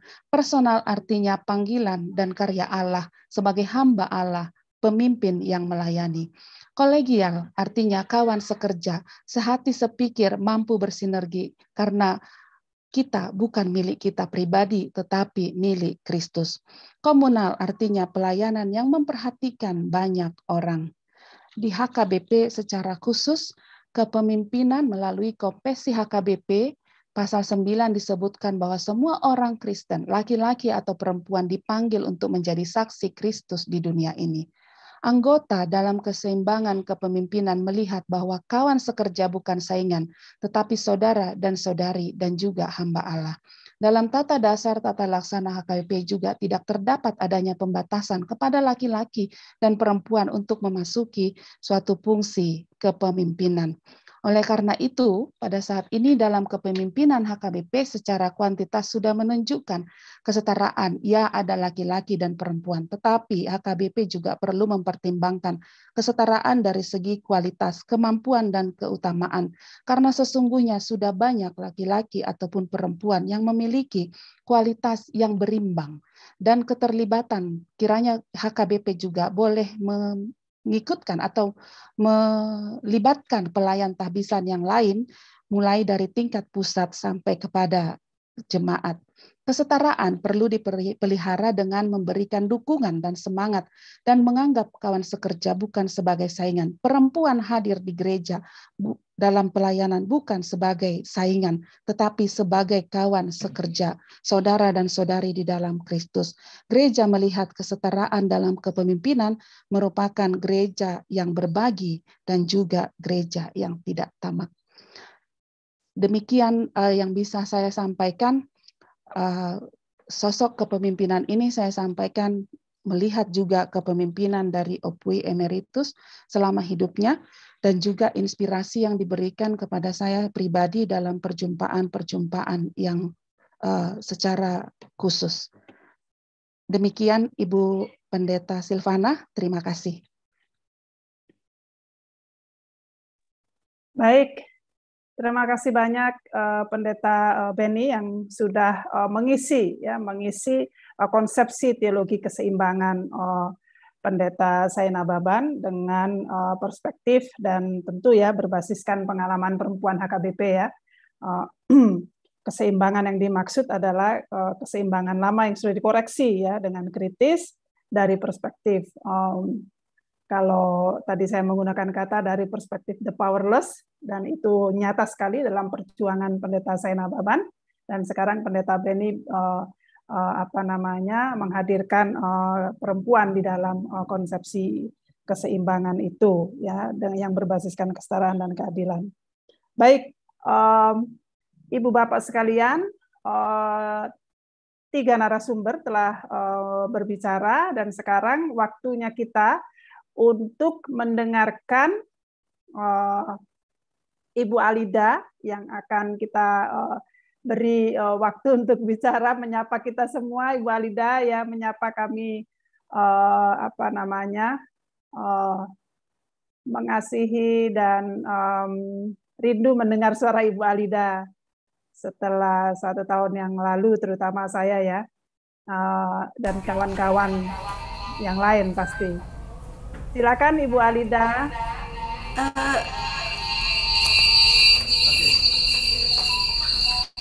Sebenarnya terima kasih moderator.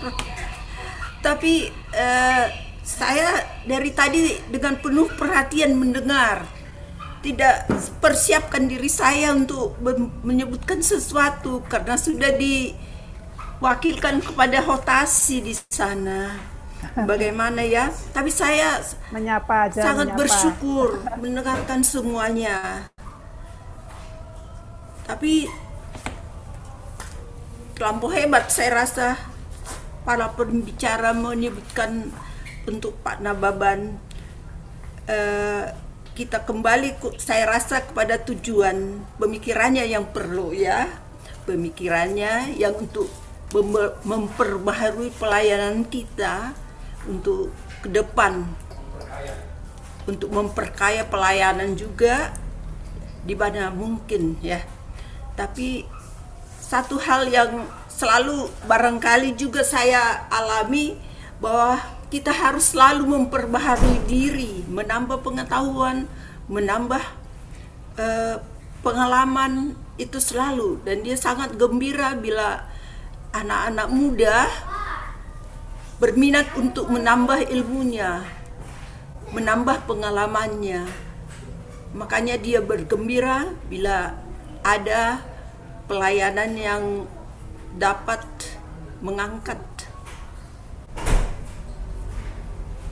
uh, anak-anak muda supaya beroleh beasiswa. Itu sedikit karena saya tidak mempersiapkan dari tadi bahwa saya akan ikut secara aktif memberi kom, uh, komentar. Tapi terima kasih untuk seluruh pembicara benar-benar mereka memberikan waktu dan perhatian untuk mencapai tujuan daripada uh, Institut Soritua Nababan ini. Sekian dulu moderator. Baiklah, terima kasih Bu Alida untuk sapaannya yang menguatkan ya, terutama memberi semangat kepada generasi muda. Memang um, Pendeta Sena Baban uh, sangat dikenal sebagai sebuah uh, sebagai uh, sosok ya, seseorang uh, pimpinan dan pelayan uh, Tuhan, pimpinan gereja dan pelayan Tuhan yang sangat peduli pada peran kehadiran dan peran generasi muda. Saya ingat waktu apa namanya dalam rangka diskusi-diskusi keesaan yang agak private beberapa orang saja kami datang ke rumah Ibu Alida waktu itu kami ada lima orang bertemu uh, Pak Sae uh, kemudian uh, Pak Pendeta SAE bertanya kepada salah seorang di antara kami berapa umurmu gitu lalu uh, kawan saya ini menjawab hampir 50, ah sudah ketuaan kau katanya. Jadi um, hampir 50 menjadi pemimpin nasional itu sudah cukup tua menurut beliau. Jadi memang berarti harusnya uh, lebih muda dari itu ya. Dan tadi uh, Pak Hotasi juga sudah menyinggung itu bagaimana keberpihakan Pak Pendeta Saina Baban kepada pentingnya peran generasi muda. Dan omong-omong uh, Ibu Alida dan uh, Pak Hotasi dan kawan-kawan Bapak Ibu sekalian, um, pandemi yang memaksa kita semua melakukan segala sesuatu dari rumah ini ya uh, dibantu oleh uh, peralatan teknologi berbasis internet uh, dalam pengalaman uh, gereja yang harus melaksanakan ibadah daring ya ibadah online barulah gereja gereja-gereja terutama gereja kami gereja saya GPIB gereja Protestan di Indonesia bagian barat semakin menyadari peran kunci generasi muda karena tanpa generasi muda itu ibadah-ibadah online mustahil dilakukan karena mereka yang menguasai teknologi informasi. Jadi jadi eh, pandemi ini eh, membuka ya menyingkapkan realita yang barangkali selama ini tidak diakui bahwa anak-anak muda berada sebagai ujung tombak eh, pelayanan gereja dengan keahlian mereka yang sangat unik dan sangat sesuai dengan zamannya. Baik, Uh, Ibu Bapak, saudara-saudara sekalian, kita punya waktu untuk uh, berdiskusi. Uh, saya mempersilahkan akan membuka uh, sesi pertama. Saya tidak akan membatasi tiga orang. Kalau memang ada beberapa orang, uh, kita bikin satu sesi aja barangkali ya. Um, saya yakin sudah banyak yang punya catatan, mau uh, menambahkan dan uh, mau bertanya. Ya, kita di sini ada pendeta Benata Sairin, uh, salah seorang senior juga dalam gerakan keesaan, uh, mitra kerja Pendeta Nababan. Uh, saya catat dulu ya Pak Wei, Pak Pendeta Benata Sairin. Ya, ya. terima ya. kasih. Ya, apakah ada yang lain yang akan berbicara? Saya belum lihat uh, reaction dari yang mengacung.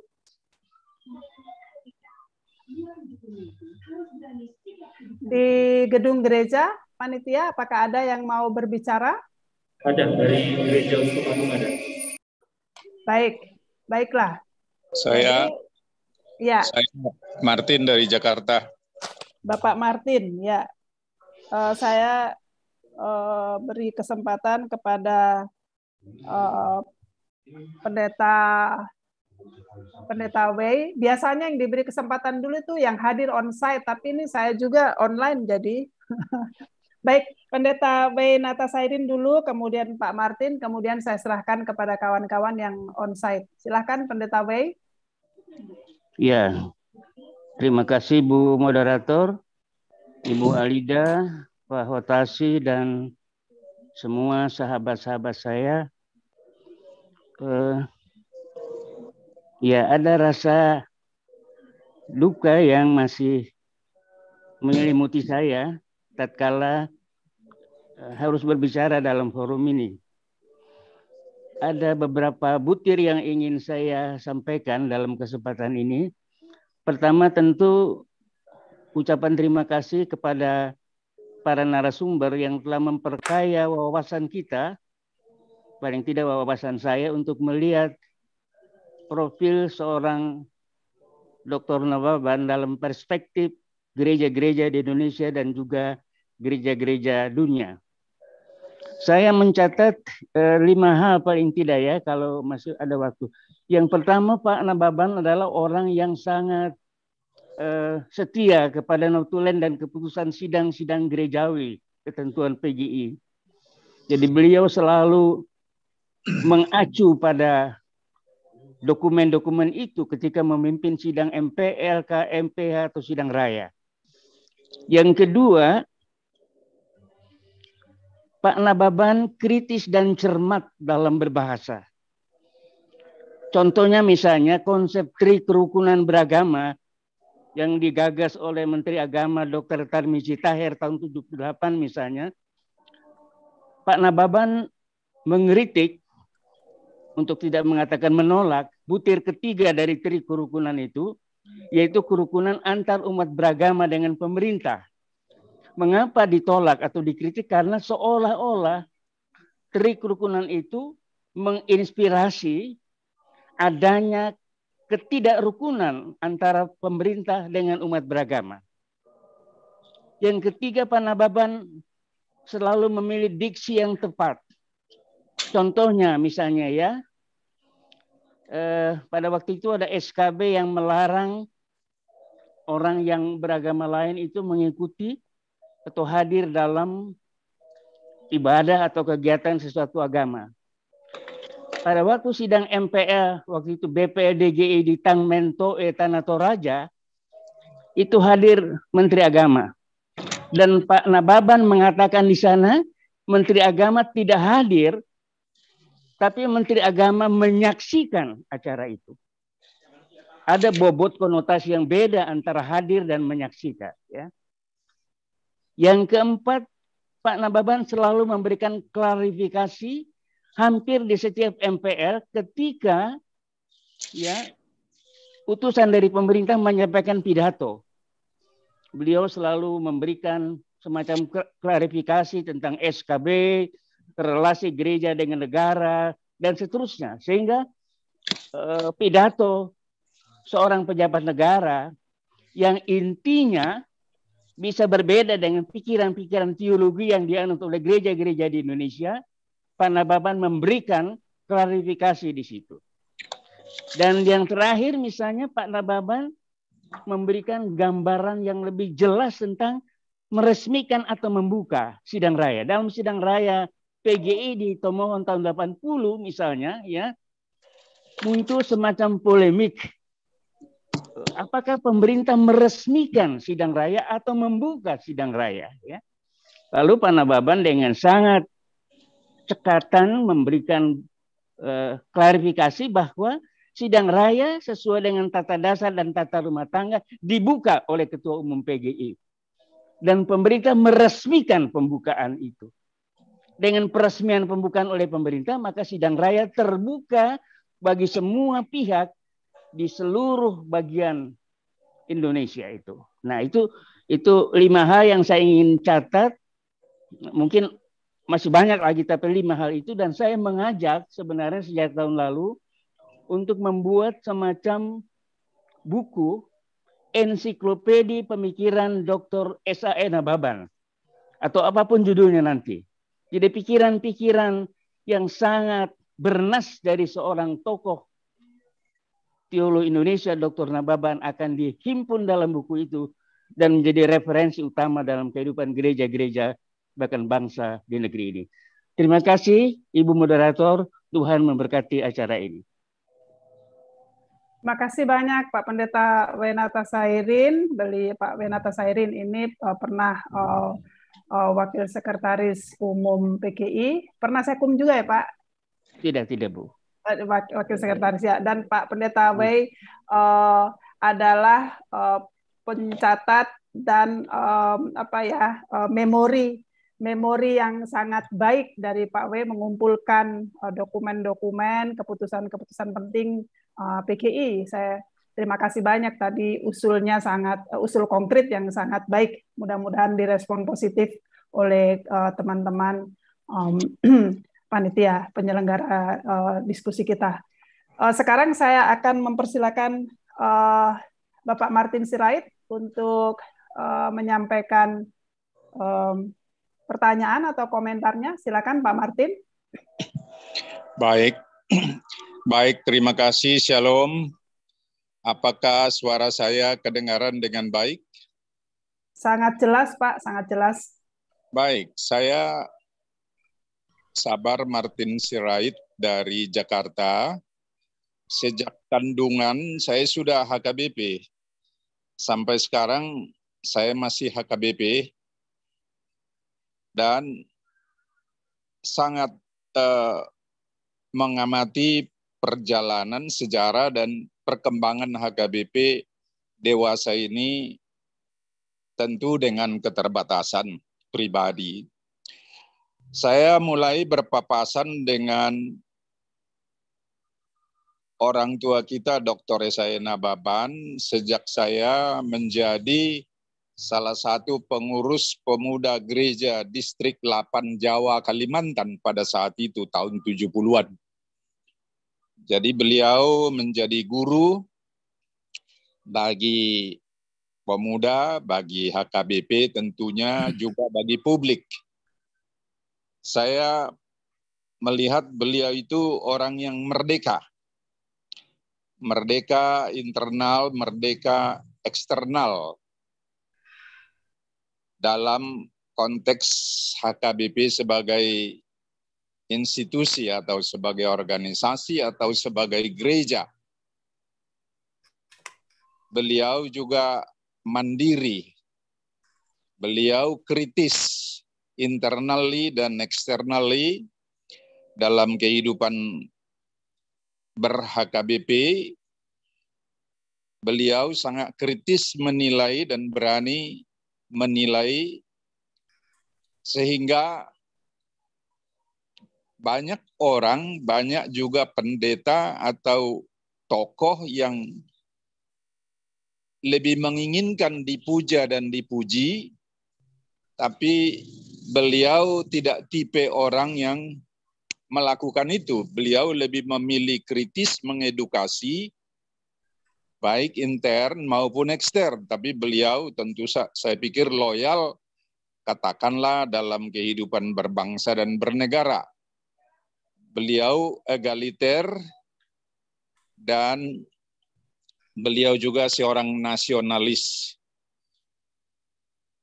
Dalam kaitannya dengan negara bisa kita amati ketika beliau menjadi pimpinan PGI, pimpinan HKBP yang memiliki masalah internal yang sangat serius dan harus berhadapan dengan Bakor Tranasda.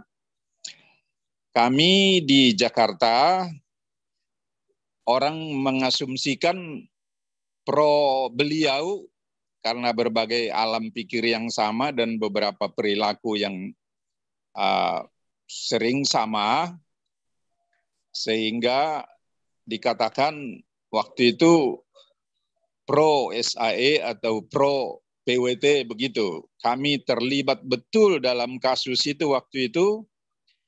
Bahkan kami pernah menjadi notulis dalam suatu pertemuan HKBP di, di Hotel Borobudur yang di tuan rumahi oleh beberapa tokoh waktu itu antara lain TB Silalahi sehingga merumuskan suatu kesepakatan ibadah bergiliran. Dan ibadah bergiliran ini memperjelas perpecahan internal di gereja-gereja. Dan saya pribadi sangat menyayangkan bahwa perbedaan sampai kepada pertentangan padahal firman Tuhan sangat jelas mengasihi sesama dan juga bahkan mengasihi musuh. Dalam konteks itu saya harus katakan HKBP tidak menjadi garam dan terang dan gereja juga sering tidak menjadi garam dan terang dalam kehidupan bermasyarakat, berbangsa dan bernegara. Beliau juga egaliter.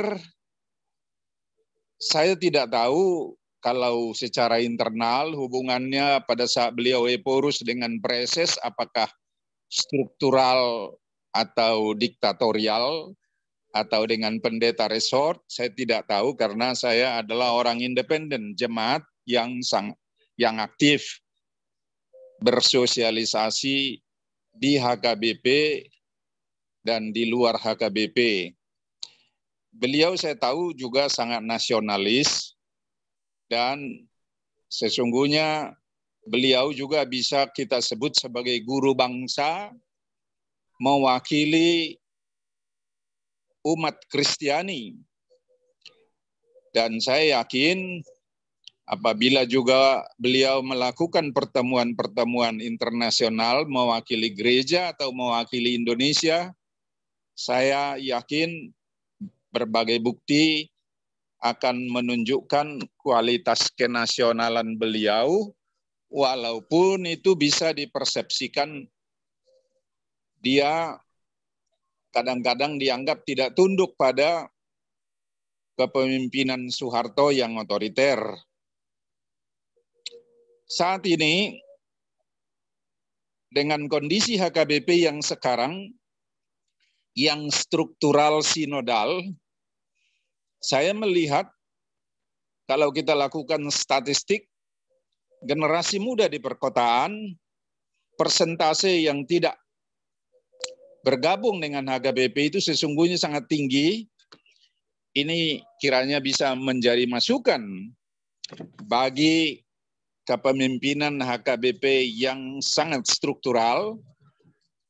Dan mohon maaf, kalau ada yang tidak cocok dengan sebutan saya, karena saya katakan tadi saya sudah menjadi HKBP sejak di dalam Bortian karena ibu saya adalah parari Kamis.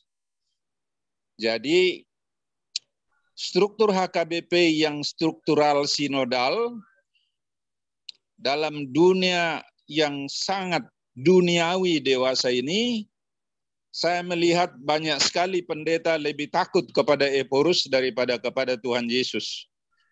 Mohon maaf kalau ada rekan-rekan pendeta yang tidak setuju dengan alam pikir ini, tapi tadi saya mendengar dibahas itu mengenai 1 Petrus 2 ayat 9, kamu adalah imamat yang rajani, gitu.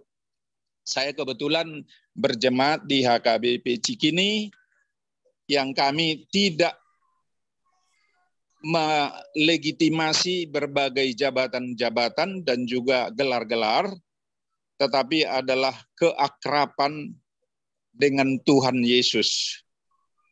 Kami katakan bahwa sebaiknya gereja adalah organisme tubuh Kristus, bukan organis struktural.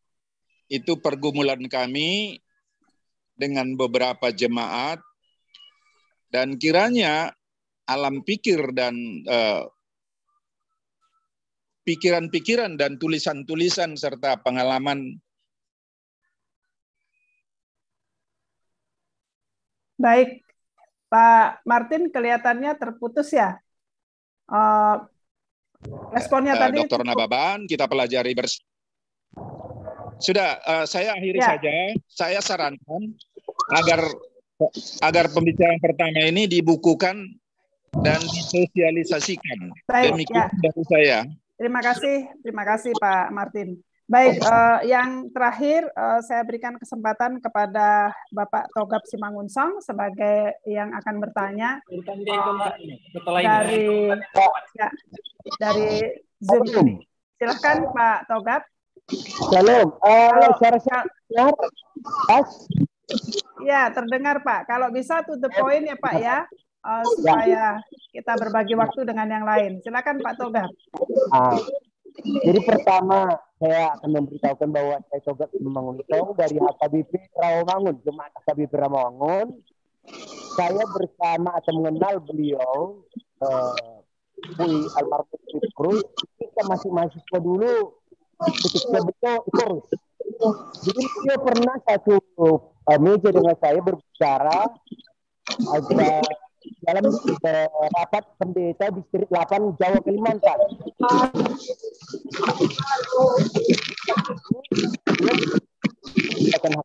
Saya diminta menyampaikan seperti apa sebenarnya kebutuhan pelayanan HKBP ada pemuda pada saat itu. Saya melihat itu adalah NHKBP bidang Suara Pak Togap. adalah Rosida Dababan, borunya Eporus itu pada saat itu. Sekarang beliau itu di Amerika sekarang bersama menikah dengan Marga Tony. Jadi di situ yang saya lihat ada dua yang mau saya sampaikan. Yang pertama adalah bagaimana perhatian beliau itu terhadap program-program pemuda karena beliau mengatakan bahwa pemuda lah yang akan menjadi generasi penerus yang akan memikirkan seperti apa HKBP ini ke depan. Tentu dengan perubahan-perubahan zaman yang terjadi sekarang ini seperti katakanlah media sosial, IT dan lain-lain. Itu saya ingat pada saat itu dan beliau menyampaikan uh, kepada saya tolong sampaikan apa keinginan kalian sebenarnya. Yang kedua adalah pada zaman itu ketika itu beliau banyak menyekolahkan dengan keprihatinan manajerial di HKBP pada saat itu. Beliau banyak memperhatikan menyekolahkan pendeta-pendeta sekolah manajemen. Yaitu kalau sekarang kita lihat ada beberapa pendeta HKBP yang bergelar MBA. Itu saya kira hasil daripada beliau pada saat itu. Namun menurut saya kelihatannya itu tidak di follow up atau tidak lanjutin sehingga ini baru dugaan saya dan banyak berpraktik di tempat saya bergereja juga banyak pengelolaan aset HKBP dan keuangan HKBP yang bisa kita katakan tidak transparan. Bahkan bisa menimbulkan banyak kecurigaan-kecurigaan terhadap pengelolaan aset HKBP yang banyak ini dan juga tentang pengelolaan keuangan HKBP. Dan oleh sebab itu saya usulkan untuk ditulis juga nanti dalam buku ini supaya program beliau terkait dengan pemuda, pemudi untuk saat ini yang mana generasi milenial dan generasi Z yang akan memiliki HKBP di masa yang akan datang supaya menjadi program utama HKBP. Kemudian terkait dengan manajerial, pengelolaan aset dan manajemen di HKBP. Kalau peribadatan sudah bagus, tinggal pengelolaan aset dan manajemen keuangan HKBP itu itu perlu di, di, di, di, difokuskan lagi. Saya kira ini aja pendapat saya, tanggapan saya karena tadi dari pembicara tidak menyinggung soal ini. Terima kasih. Terima kasih banyak Pak Togap sudah melengkapi informasi mengenai keberpihakan uh, Pak Pendeta saya untuk uh, generasi muda ya, posisi kunci generasi muda. Ya saya uh, akan serahkan kepada teman-teman uh, uh, kita ini satu-satu dulu ya teman-teman yang di gedung gereja. Tadi saya sudah berjanji akan menyerahkan kepada kawan-kawan yang onsite. Kawan-kawan uh, panitia di onsite ada berapa yang akan merespon di gedung gereja? Boleh diinformasikan? Ada satu Oh, satu orang. Oke, okay, baik. Ya, baik. Setelah itu nanti kita kembali ke peserta yang daring. Silahkan. Uh... Terima kasih, Ya, suaranya kok kurang jelas ya. Dari gereja. Jadi, kalau saya bisa ikuti dari almarhum pendeta sudah jauh mahasiswa dalam satu pendeta bisa Dan sebagai guru ibu, beliau. Katanya dalam Zoom lebih baik pakai telepon. dan inspiratif. Bahkan komunikasi kami pagi dengan Umi berlangsung sebulan sebelum dia beliau meninggal. Waktu itu saya kirim SMS saya sudah masih tidak lagi, dan saya tunjuk Tuhan ke tempat-tempat yang lain. Dan beliau menjawab seperti ini, semua pelayanan adalah sama. Kerjakanlah dengan baik di mana pun kau melayani. Jadi semua nasihatnya penuh dengan isi. Jadi yang saya lihat pertama-tama kalau kita bicara tentang itu sorry Tuhan dan. Yang lain sepertinya tidak dengar. Apakah suara dari gereja bisa diterima dengan jelas? Kurang jelas ya. ini? Kurang jelas. Kurang Jelas, jelas. Saya kurang. Kurang ya. jelas. Sekali jelas. Ya, mungkin teman-teman bisa membantu. Jadi suaranya echoing ya, eh, menggema, lalu eh, apa namanya tidak stabil ya. Teman-teman admin, eh, kakak admin bisa menyalin di sini, mencatat di sini apa yang disampaikan oleh eh, pembicara. Atau yang berbicara merapat ke admin aja. Oh ini lah. Ya, Ini nggak usah. Ya, saya lanjutkan. ya. Ada bocor sedikit. Kalau kalau tadi kita mendengar apa yang disampaikan oleh Bapak Profesor Siahaan, bagaimana ketika ada katakanlah pergumulan di AKBP tahun 92, Opui Ipur Baban akhirnya menjadi menghadapi yang kita sebut kreatif minority. Dalam memilih kreatif minority ini, kita lihat ada dua kubu waktu itu. Tetapi beliau dengan tegas mengatakan gereja harus bersuara melawan ketidakadilan. Karena untuk itulah gereja terpanggil.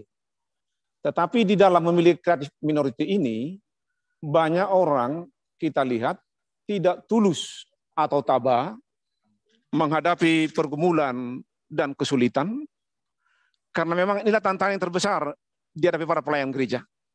Bagaimana kita siap dengan tulus dan tabah menyaksikan Injil. Bila harus datang kesulitan, datang pergumulan, dan datang pengucilan. Makanya ini yang kita lihat dan perlu teladani salah satu contoh.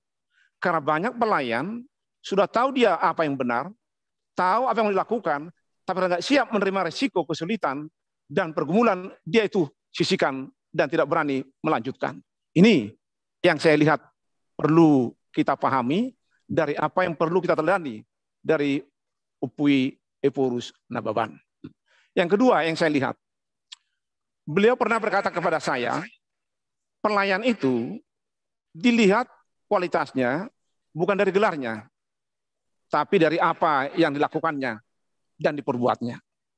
Makanya pada tahun 2006, saya berkata, berkata kepada Opui di Medan ini, Opung, bagaimana kalau kita buat forum teolog Batak agar para dokter-dokter orang Batak ini punya forum untuk diskusi, menyalurkan ilmunya, sehingga bisa berbagi.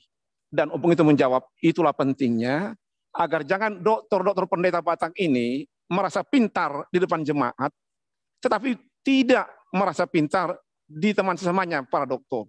Makanya kalau forum ini kita bentuk, dokter-dokter ini bisa menyalurkan ilmunya, berbagi ilmunya, yang dari KBP ke GBKP, HKI ke HKBP, sehingga ada forum. Sehingga tidak dokter itu hanya pintar di depan jemaat, karena otomatis dia pintar, sudah dokter, sudah STH. Tapi kalau depan jemaat aja pintar, itu bukan pintar. Jadi bagi kita, pendeta itu, kualitasnya itu bukan digelar, kata Opu itu. Tapi di perbuatan, di tindakan. Ini yang saya lihat perlu kita warisi dan pelajari, agar kalau kita mengingat, meneladani apa yang telah diperbuat Upung itu, kita bisa melihat oh yang benar. Jangan kita terperangkap kepada banyaknya gelar.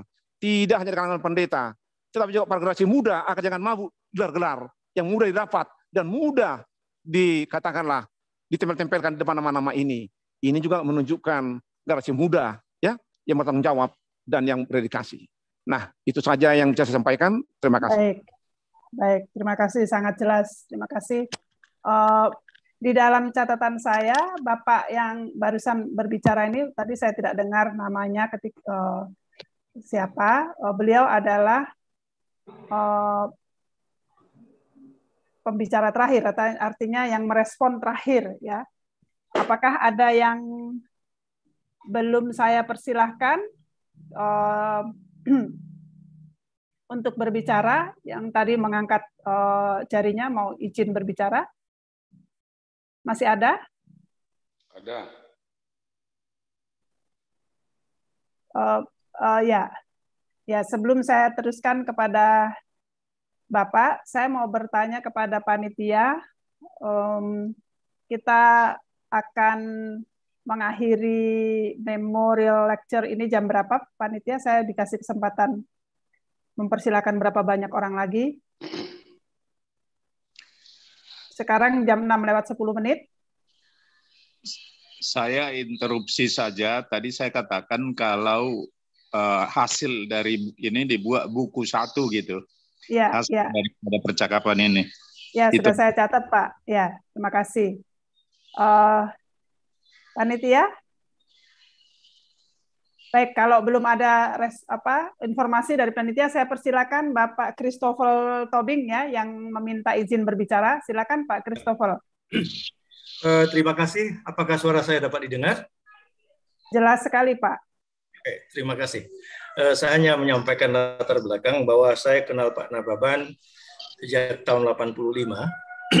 Sewaktu saya bertugas di Papua sebagai dokter impres di sana dan saya sekaligus punya tugas jadi koordinator motivator PGI Parpem untuk wilayah Maluku Irian Jaya. Sehingga pada sidang-sidang MPL kita selalu dipanggil dari eh, Parpem dengan Pak Pontas Nasution, dengan Pak Indra Nababan, semua kita sering ketemu. Uh, kemudian saya selesai dari Papua, saya kembali sekolah, ngambil pendidikan di bagian kebidanan dan penyakit kandungan setelah saya tamat, saya ditempatkan di Tarutung pada masa-masa kemelut antara 92 98 saya berada di Tarutung dan bagaimana helikopter berterbangan di atas dan apa dan sebagainya saya berada di sana. Dan dari kala itu, kemudian terakhir ini dalam masa-masa beliau menulis buku yang kemarin, saya sempat teleponan dengan beliau dan dia sangat betul karena saya hula-hulanya barangkali sebagai tobing dan banyak kesan-kesan. Nah, jadi sebetulnya yang paling berkesan buat saya di tangan saya sekarang ada buku yang diterbitkan oleh PMK HKBP Jakarta 2020 kepemimpinan kepemimpinan adat kepemimpinan adat dan pemuda. Ini diterbitkan tahun 2020 dan di sini pokok-pokok pikiran beliau sangat jelas. Yang paling berkesan buat saya adalah apa yang disebut sebagai dari keluar dari keluaran 18 sewaktu Jethro menasihati Musa sebagai menantunya sehingga di sana ada konsep kepemimpinan yang selalu beliau ajukan dalam beberapa pertemuan. Bahwa Jethro Weiss itu adalah seorang pekerja di ladang Tuhan, yang pertama dia harus takut akan Tuhan, dan kedua dia kompeten, punya kompetensi, yang ketiga dikatakan dia dipercaya, trust, dan keempat dia bukan senang disuap, masalah ketatan dalam keuangan. Dan itu beliau jelaskan sebagai suatu model sebetulnya kepemimpinan yang dalam buku ini disebut sebagai Jethro Weiss itu kesan saya yang luar biasa bagi beliau. Dan waktu saya jadi koordinator motivator PGI dulu, dikala, nah ini ini satu yang saya ingat bagaimana beliau mengambil keputusan dengan tepat ya. Sewaktu peralihan waktu beliau terpilih jadi Eporus, pada saat itu beliau ketua PGI. Maka kami semua diundang rapat ke Jakarta dan mengambil keputusan itu. Dan situlah beliau mengatakan saatnya saya kembali membangun gereja saya dan di situ beliau melepaskan jabatannya sebagai ketua PGI walaupun sudah melalui perdebatan yang panjang dan supaya waktu itu Pridolin Ukur almarhum menjadi sekretaris sekretaris umum di PGI dan wakilnya dulu pendeta Solar Sosopater. Nah, di sini sebenarnya yang kita lihat betapa waktu itu kami para anggota-anggota di di orga, di parpem dan sebagainya ya sebenarnya bikin masukan. Kok tega amat Pak Nabawan meninggalkan PG yang masih punya perjuangan ke depan di dalam hal ini. Tapi beliau katakan ini saatnya saya kembali. Kembali. Walaupun dikatakan alternatif untuk jabat terangkap beliau jelas bilang tidak. Saya harus perhatian saya harus saya pulkan kepada HKBP nah di situlah sebenarnya beberapa hal kesan saya bahwa yang paling berkesan buat saya dari beliau adalah punya konsep kepemimpinan yang jelas. Apa yang disebut dengan Jetrowis yang tadi itu. Dan itu merupakan suatu yang sebenarnya perlu kita pikirkan ke depan. Yang tidak sekarang Prof. Sihan tadi masalah kreatif minority. Ini sebenarnya juga beliau selalu mendengungkan di dalam menghadapi pelayanan jemaat, yang pertama kita harus positif, kreatif, realistis, dan kritis. Beliau sangat terbuka dengan kritis, tapi selalu beliau ingatkan kita harus positif. Kritik itu yang konstruktif, yang membangun, bukan menjatuhkan. Jadi pola-pola kepemimpinan itu bersamaan dengan almarhum Pak Sim, PB Simatupang, pada era-era 80-an ke 90-an itu di situlah kita dapat konsep-konsep mengenai kepemimpinan di gereja termasuk yang akhirnya bermuara pada teologi keseimbangan, yang bermuara pada yang tadi Pak Sian katakan, teologi perlape-lapean itu. Itu aja sementara masukan dari Baik. saya. Terima kasih. Ya. ya. Terima kasih Pak Christopher ya. Ini salah satu catatan untuk poin penting dari buku itu nanti ya, buku ensiklopedi pemikiran Pendeta Saina Baban itu ya. Bagaimana pola kepemimpinan dan nilai-nilai leadership uh, praksis leadership yang dikembangkan oleh Pak Sai. Antara lain, menurut Pak Christopher, tahu kapan waktunya selesai atau undur dan menyiapkan kader. Begitu ya Pak Christopher? Ya, ya, ya. ya. Terima kasih. Uh, saya masih melihat ada satu uh, tangan lagi yang minta izin bicara, uh, Pak Sarmedi Purba. Uh, uh, sebentar ya, supaya adil saya harus buka Pak Sarmedi Purba, kemudian uh, di uh, gedung gereja juga ada satu lagi. Baiklah, berarti tinggal dua ya. Ini mungkin uh, dua yang terakhir kah? Silakan Pak Purba. Terima kasih Bu Pendeta. saya hanya sedikit aja. Saya kenal dokter atau pendeta Nababan, saya Nababan sejak 1963 waktu saya masih mahasiswa dan beliau juga masih pemuda sebagai pendeta pemuda. Jadi dan belakangan sampai saya pada ulang tahun ke-80 beliau masih datang mengunjungi uh, saya di rumah saya dalam perayaan ulang tahun ke-80 dua tahun yang lalu. Uh, yang saya ingin tekankan sebetulnya pendeta Nababan itu memang punya pikiran yang genius, tapi untuk pendeta-pendeta masa sekarang yang perlu dipelajari juga adalah ada dua hal yang menurut saya, yaitu teknik menyampaikan itu kepada publik, yaitu teknik berpidato.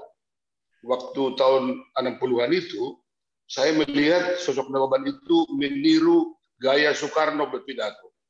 Jadi bisa kita terpukau mendengar pidatonya berjam-jam, itu tidak semua pendeta buat itu. Kadang-kadang ada orang ngantuk di gereja kalau berkhotbah.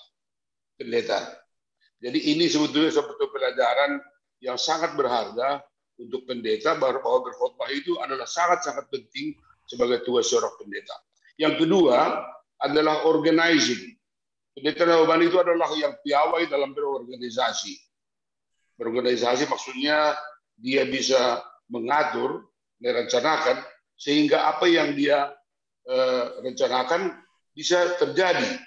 Tidak hanya omong saja, tapi betul-betul bisa terlaksana. Ini membutuhkan suatu approach atau perencanaan, kemudian approach kepada tiap-tiap pihak. Saya eh, kebetulan juga pernah di luar negeri, saya sudah beban pulang ke Indonesia dan saya mengikuti jejaknya termasuk di Jenewa dalam eh, konferensi Asia yang beliau bentuk dan itu tidak mudah memimpin rapat dalam bahasa Inggris misalnya atau dalam bahasa Jerman itu membutuhkan suatu kepiawaian tersendiri. Saya juga fasih bahasa Jerman, tapi kalau memimpin rapat dan berpidato, saya kira saya tidak bisa jauh-jauh sekali tidak bisa melakukan uh, dokter saya obat.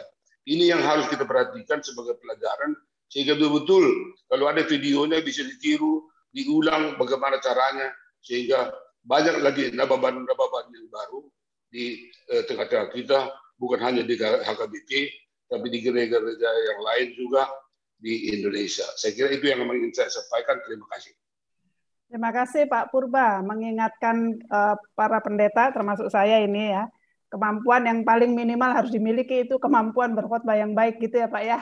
Nah, kalau soalnya itu Betul. tugas minimalnya itu tugas minimalnya kalau khotbahnya uh, ya kurang terampil ya ya agak repot juga ya. Tapi untuk menjadi orator yang top seperti Pak Pendeta saya itu ada ada faktor ada faktor talenta juga ya. ya, tapi memang betul itu luar biasa kita bisa betah uh, berlama-lama mendengarkan seorang orator berbicara uh, ya dan inspiratif begitu. Baik, um, yang terakhir uh, saya serahkan kepada kawan-kawan uh, panitia di gedung gereja. Silahkan, siapa yang akan bicara? Satu orang. Karena panitia mengingatkan waktu kita tinggal 9 menit jam setengah tujuh waktu Indonesia bagian Barat kita akan menutup uh, diskusi uh, yang menarik ini ya. Dan untuk sebagian peserta ini sudah setengah delapan ya. Eh setengah sembilan barangkali teman-teman di Minahasa di Manado silahkan ah ya. admin pakai cara yang tadi ya pakai cara yang tadi ini ekonya muncul lagi. Ya. Hmm. Terima kasih. Saya Dr. Horas saja Bubuk. Oh, Dokter uh, Dokter Horas, boleh ya. boleh yang kedua ya, karena ya. saya mempersilakan baik ya. Saya sudah catat. sekarang Bapak nanti akan bicara. Kita persilakan yang di gereja dulu, Bapak, satu. Ya, saya dari gereja. Oh, ini dari gereja. ya, saya ketempatan di gereja. Maaf, maaf. Ya, silakan uh, Pak Dokter. Ya. Jadi gini, saya memang lama mengenal uh, pendeta Esena Baban ketika di mahasiswa di GMKI pernah berceramah di Kabanjahe. Salah satu memang konsepnya yang sampai sekarang belum terlaksana, yang saya lihat sangat brilian adalah dia katakan apakah itu satu logika atau gimana, andaikan durung-durung HKBP itu di seluruh resort dan ruas disimpan di suatu katakan bank yang dibuat HKBP, bisa HKBP ini cukup maju. Jadi dikatakan logikanya waktu itu langsung Opui bilang emeritus, kita bisa bayangkan kita ruas HKBP nyimpan uang di satu bank, namun untuk keperluan yang kita pakai uang kita itu kita pinjam lagi dari bank dengan uang dengan bunga yang lebih besar. Andaikan HKBP melaksanakan itu, HKBP cukup besar itu dikatakan saat itu sehingga waktu terjadi permasalahan saya berpikir mungkin ini ada juga upaya-upaya bagaimana HKBP itu jangan besar dengan membuat bank.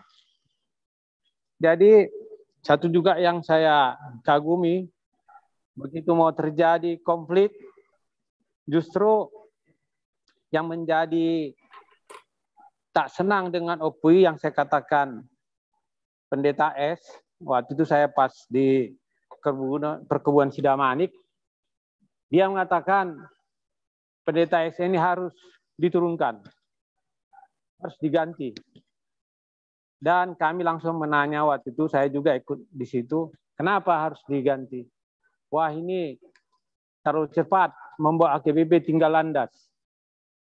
Dia bilang, sampai warganya ruas nanti ketinggalan di landasan. Dibuatnya perumpamaan seperti kereta api, ini kecepatannya sampai 600 km per jam. Dan sekjen 500 km per jam. Akapareses 400 km per jam. Nah, pendeta resort diuraikannya itu 300 dan karena kencangnya membawa AKBP ini maka ketinggalanlah semua di lapangan. Jadi harus diganti dan dikatakanlah apa yang mau dilakukan. Maka kayak gitu, begitu terjadi permasalahan itu, ya saya juga sampai turun ke Tarutung melihat ah, ini seorang tokoh Kristen yang ingin membawa maju suatu gereja, ada yang menggagalkan, berarti ini harus diperjuangkan.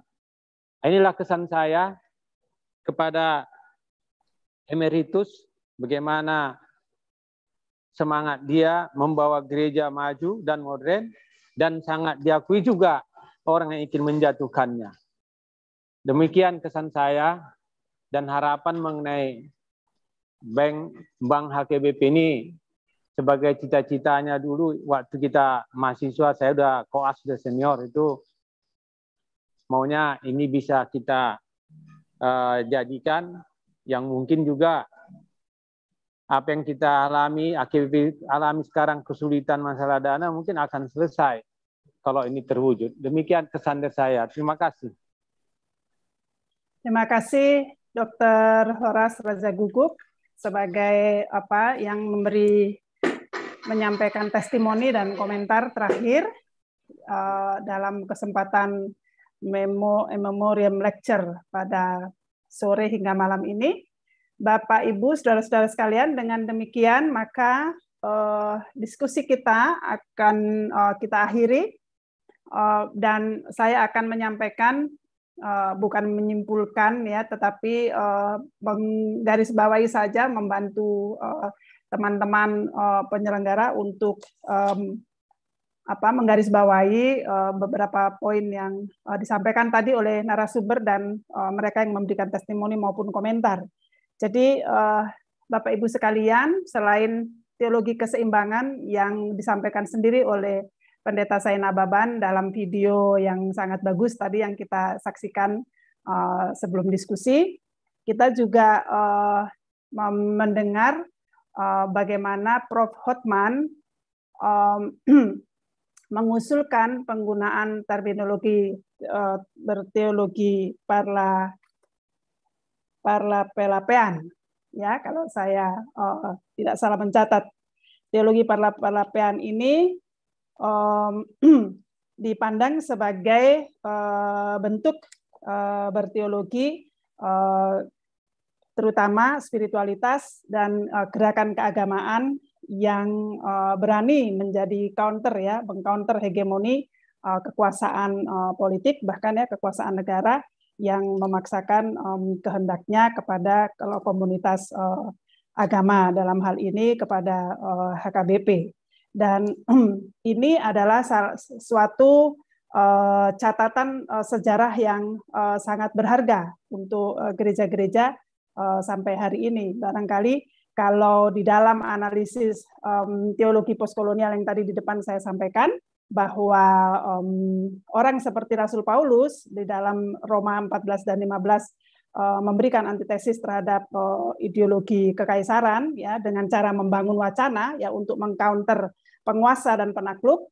Uh, Pak saya uh, bukan sekedar membangun wacana, tetapi membangun gerakan, ya, membangun gerakan, membangun um, gerakan kerakyatan, keagamaan yang uh, apa um, berbicara uh, dan uh, bersikap ya dengan tegas. Nah, um, Bapak Ibu sekalian itu um, barangkali pertanyaannya untuk kita uh, kita hari ini adalah apa time of problem kita hari ini ya karena tadi Pak uh, Prof Hotman um, bicara soal uh, kehadiran eh, tokoh-tokoh uh, tertentu ya dengan suara profetik dengan sikap profetik di dalam situasi um, uh, turbulence tertentu ya dan apabila kita berhasil mencatat uh, time of problem itu kalau Pak Nababan sekarang ini beliau ada beliau akan bicara apa gitu ya dan atau bersikap apa gitu.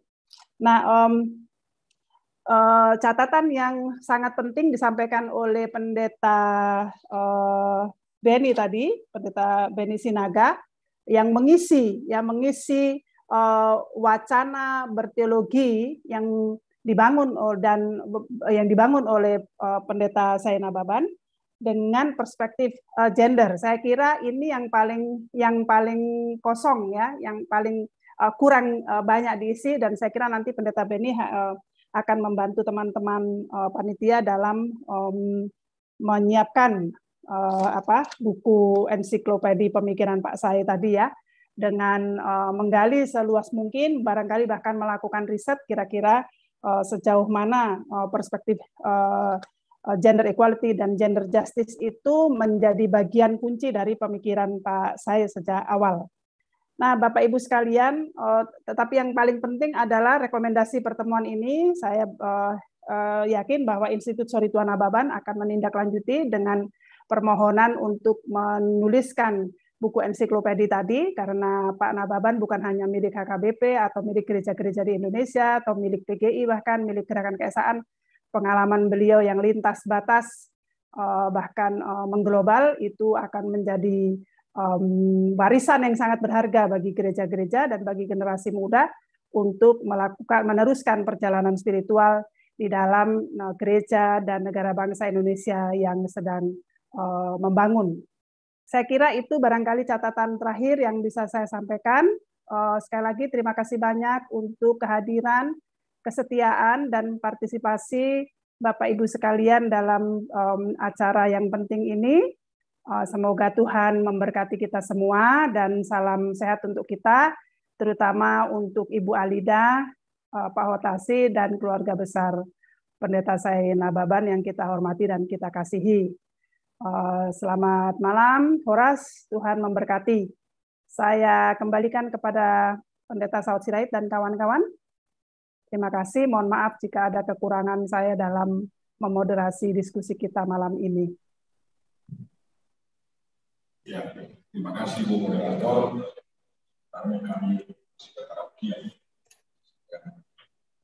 minta kira dari kawan-kawan siapa tahu ada kursi dan apa yang beliau usulkan memberitahu tidak tidak dapat terima dari kepala usul itu lalu lalu kemudian dia keluarga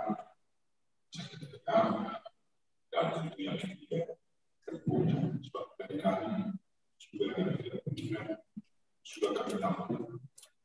kami Sepeda ada perusahaan yang. Kira-kira seperti itu.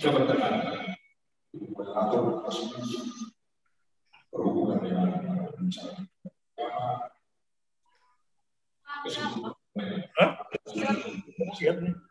Boleh boleh kalau akan kita lakukan kita dan kalau kita bisa bersedia kita semua menjadi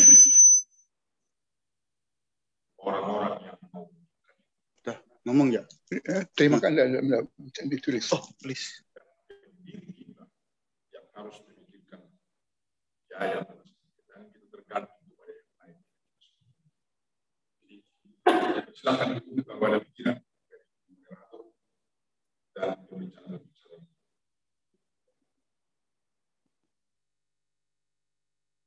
ada kursi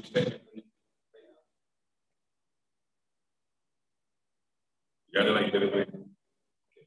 Kalau begitu dengan hormat dari keluarga kami juga. Jika ada tidak begitu bagi keluarga supaya nanti sampaikan menunggu sampai tanggal 24. Pertama, memorial ini adalah merupakan bukan ingatan akan apa yang sudah kita Jadi boleh. Dia sudah sampaikan dari yang tangkap. Tapi dari yang saya tangkap, banyak pemuda-pemuda kita, baik yang di sini dan yang di ujung, melihat bahwa pemikiran beliau ini masih harus diteruskan dan diperjuangkan terutama bagi mereka orang muda, mereka rindu ada tokoh-tokoh Batak seperti almarhum Suritu Nababan yang mendorong orang muda meraih cita-citanya, mendampingi dia, memberi kekuatan supaya mereka meraih impian. Itu yang pertama. Tentu butuh dukungan yang luar biasa. Dia urus Suritu Nababan dahulu bersama dengan timnya yang tidak bisa disebut satu persatu. Mengumpulkan panah untuk memberangkatkan pendeta-pendeta, bahkan dosen-dosen domestik yang orang jemaat berangkat ke luar negeri belajar. Nah ini sekarang yang kurang. Padahal peluang untuk itu saya lihat banyak jika memang kita mau bersatu hati lewat jabatan-jabatan yang diberikan Tuhan kepada kita masing-masing. Lalu yang kedua, tugas kami sekiranya Institut Sohibul Nababan ini dilanjutkan. Kami sudah persiapkan badan hukumnya. Itu semua masih dengan swadaya. Jadi sudah tentu akan diperlengkapi. Dan kalau badan hukum ini diresmikan sudah harus tertulis siapa pendirinya. Di situ semua lengkap dengan aturan. Dan tentu para pendiri ini kita harapkan mengenal kawan-kawan dari itu ada yang masih hidup sekarang? Mau berpartisipasi. Baru yang ketiga nanti kita akan meminta persetujuan dari keluarga. Apakah itu ada beban disembahkan institut. Kita katakan bangsa kita kira-kira seperti itu. Bapak Ibu dan untuk itu saya serahkan. Kepada Pak Ketua untuk menyampaikan pikiran-pikiran Oh, saya pikir tinggal dua poin saja. Yang pertama, saya mengajak kita semua untuk berkolaborasi, mencapai satu cita-cita yang mulia ini, yaitu memelihara, merawat, dan bukan hanya sekedar memelihara dan merawat, nanti akhirnya dia menjadi bonsai, tetapi juga termasuk mengembangkan ya mengembangkan kegiatan-kegiatan yang sangat bermanfaat bagi kemajuan bangsa dan negara. Uh, seorang yang kita kagumi ini itu spesialisasinya dalam bidang leadership. Ini adalah merupakan sorotan utama kita. Bagaimana dia bisa berpesan sebelum kita turun, kita harus meninggalkan generasi yang melanjutkan. Saya yakin, uh, 20 uh, 30 tahun yang lalu kita bersama dengan beliau, kita lah orang-orang inilah sekarang yang akan sudah menjadi leader-leader yang mempunyai keterampilan. Lalu sesudah kita akan lebih banyak lagi akan terbentuk para leader-leader Christian leader yang menjadi terang di dalam tiap kegiatan-kegiatan. Ini yang pertama. Lalu poin yang kedua, kami juga sangat mengharap agar uh, keluarga besar daripada Eporus yang kita kasih ini tetap menjadi orang yang dilibatkan dan terlibat di dalam institusi ini. Ya, karena apa pun ceritanya, kita ini bisa lari dari apa yang sebenarnya yang diajarkan oleh Eporus kita ini. Tapi ketika ada keluarga yang menjadi Eh, penunjuk atau mengingatkan kita kembali, maka siapa pun yang nantinya akan mengelola institusi ini untuk menjadi sesuatu berkat bagi bangsa dan e, negara dalam hal yang ini dan juga bergerak dalam bidang ekonomi, ini akan menjadi sesuatu tujuan yang pasti. Dan kita ingat seperti yang dipesankan oleh uh, abang kita, kasih tadi, kita tidak perlu mengkultuskan orang yang kita kasih ini karena dia selalu minta ampun kepada Tuhan itu supaya dia jangan menjadi mencuri kemudian.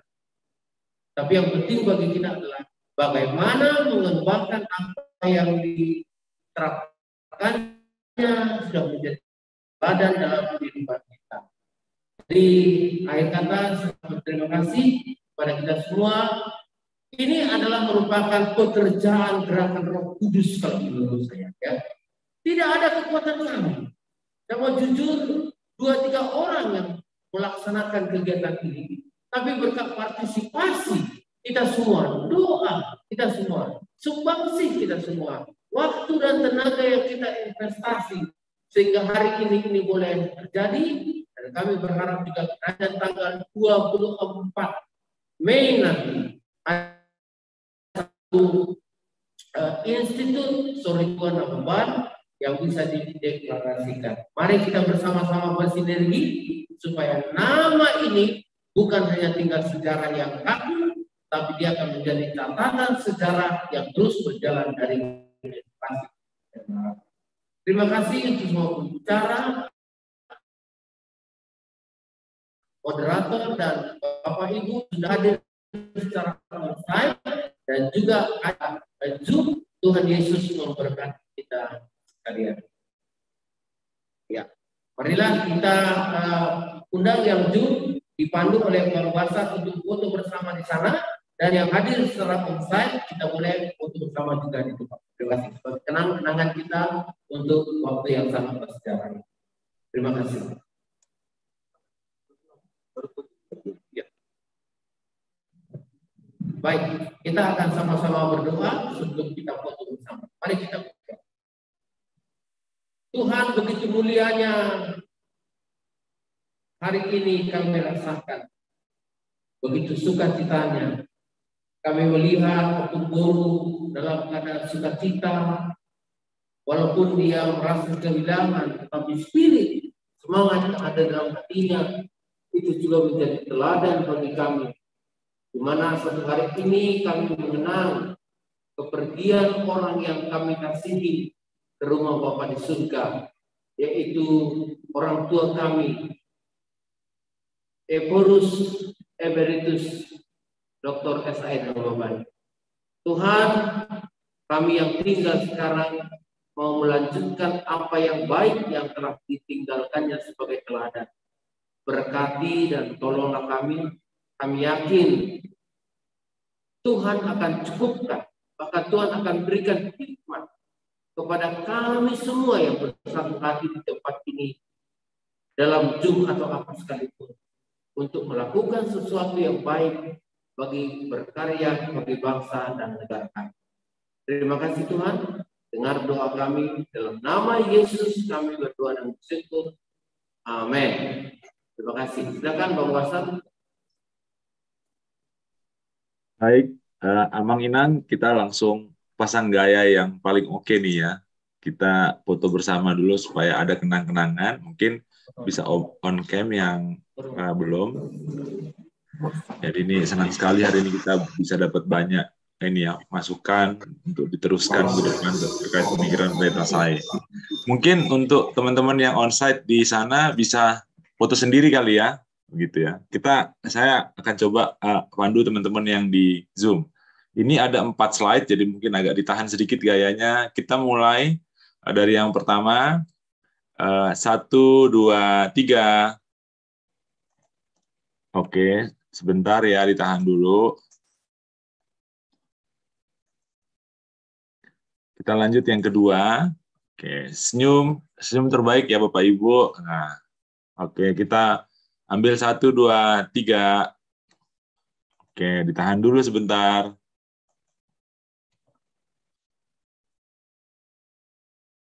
Sebentar ya. Ini udah pada lapar pasti nih. Nah, kita masuk yang ketiga. Oke, satu, dua, tiga.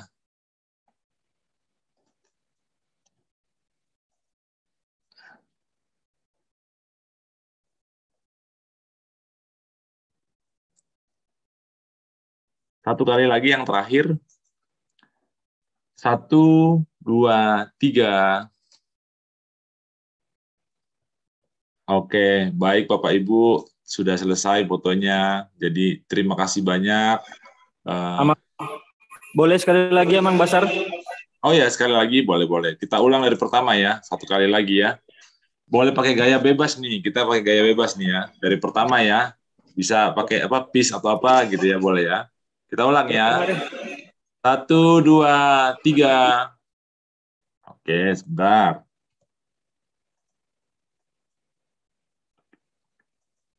Kita yang kedua. Kasih gaya yang terbaik dong Bapak Ibu ya. Jangan pas foto gayanya. Satu, dua, tiga. Oke, sebentar. Ini saya simpan dulu. Oke. Yang ketiga. Satu, dua, tiga. Oke, ini yang terakhir sebentar lagi ya. Nah, ini yang terakhir kita. Oke, satu, dua, tiga. Oke, Amang Inang sudah selesai. Terima kasih banyak sudah mau foto. Bentar, Mas. Udah tahan, udah tahan, tahan lapar nih ya. Amang Basar, Ya. boleh spotlight yang di gereja lalu di screenshot. Oh, oke yang baik baik. dari sana. Ya boleh boleh. Nah ini yang di gereja nih.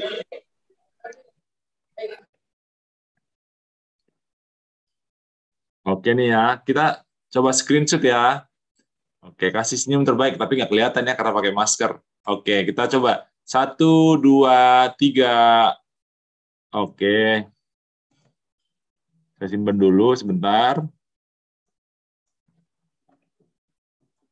Satu kali lagi ya, boleh ya. Nah, boleh dibuka nih maskernya. Satu, dua, tiga, kasih, kasih senyum yang terbaik. Satu, dua. Oke, sudah selesai. Sudah mantap. Oke, Bapak Ibu, terima kasih. Nah, acaranya sudah selesai nih. Jadi udah bisa makan malam ya.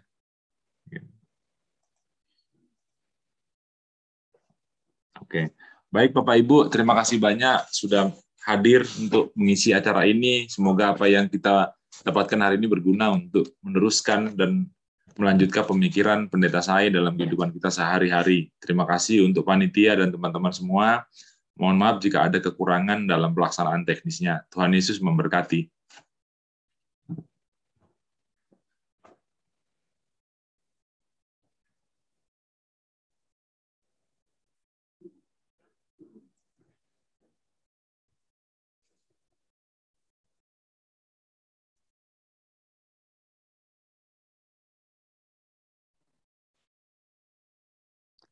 Terima kasih untuk kita semua. Izin pamit. Pamit ya, Opung. Opung Alida.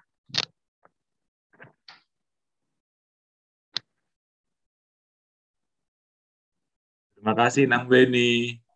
Terima kasih, Tok Basar. Makin cakep aja fotonya. itu, itu fotonya Nang. Orang dari tadi nggak kelihatan. Nggak kelihatan ya Nang ini bertugas di belakang layar.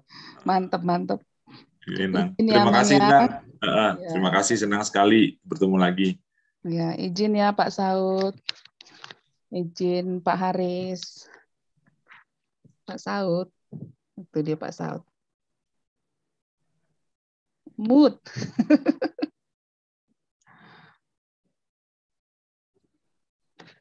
Sudah pada kelaparan kayaknya itu. Jadi, waduh. Ya, Oke. Oke, dadah. Terima kasih Nang. terima kasih.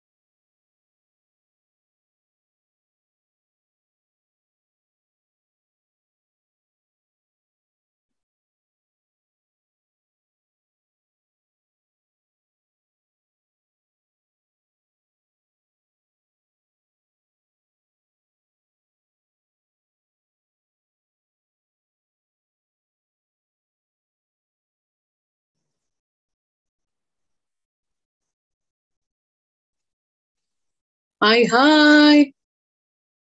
Inang Alida masih ada. Nah, baru dibuka. Wah, ini baru. Baru Iya dari tadi ini. ditutup terus. Halo Kak Marisi. Halo, halo. Inang Alida masih ada, Inang Opung Boru, ngomong long. Kak Keriahen, hai Kak Keriahen, mana suaramu? Kita mengingat Bang Tupak, Kak Keriahen.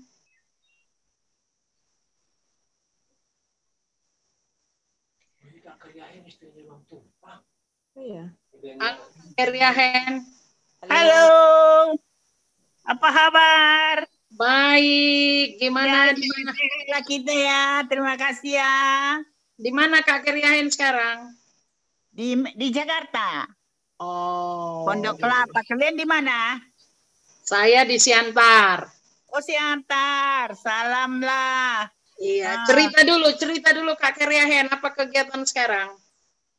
Ah, setengah-setengah kerja lah, udah hampir-hampir pensiun, ngajar udah apa. Cuma gereja saya sekarang Jatiwaringin, HKBP Jatiwaringin. Oh, begitu ya. Mm-mm, Iya, sehat kalian kan? Kirim salam Sehat, sama orang sehat. Dampar. Sayangnya Sehat. kakak saya nggak di sana lagi, Kak Daten udah emeritus juga, udah pergi dia. Waktu itu kan di, di Siantar. Iya, iya, iya. Iya, Halo senang. Tua, Oke, Abang kalian Tua Manurung. Tadi ada salam dan doa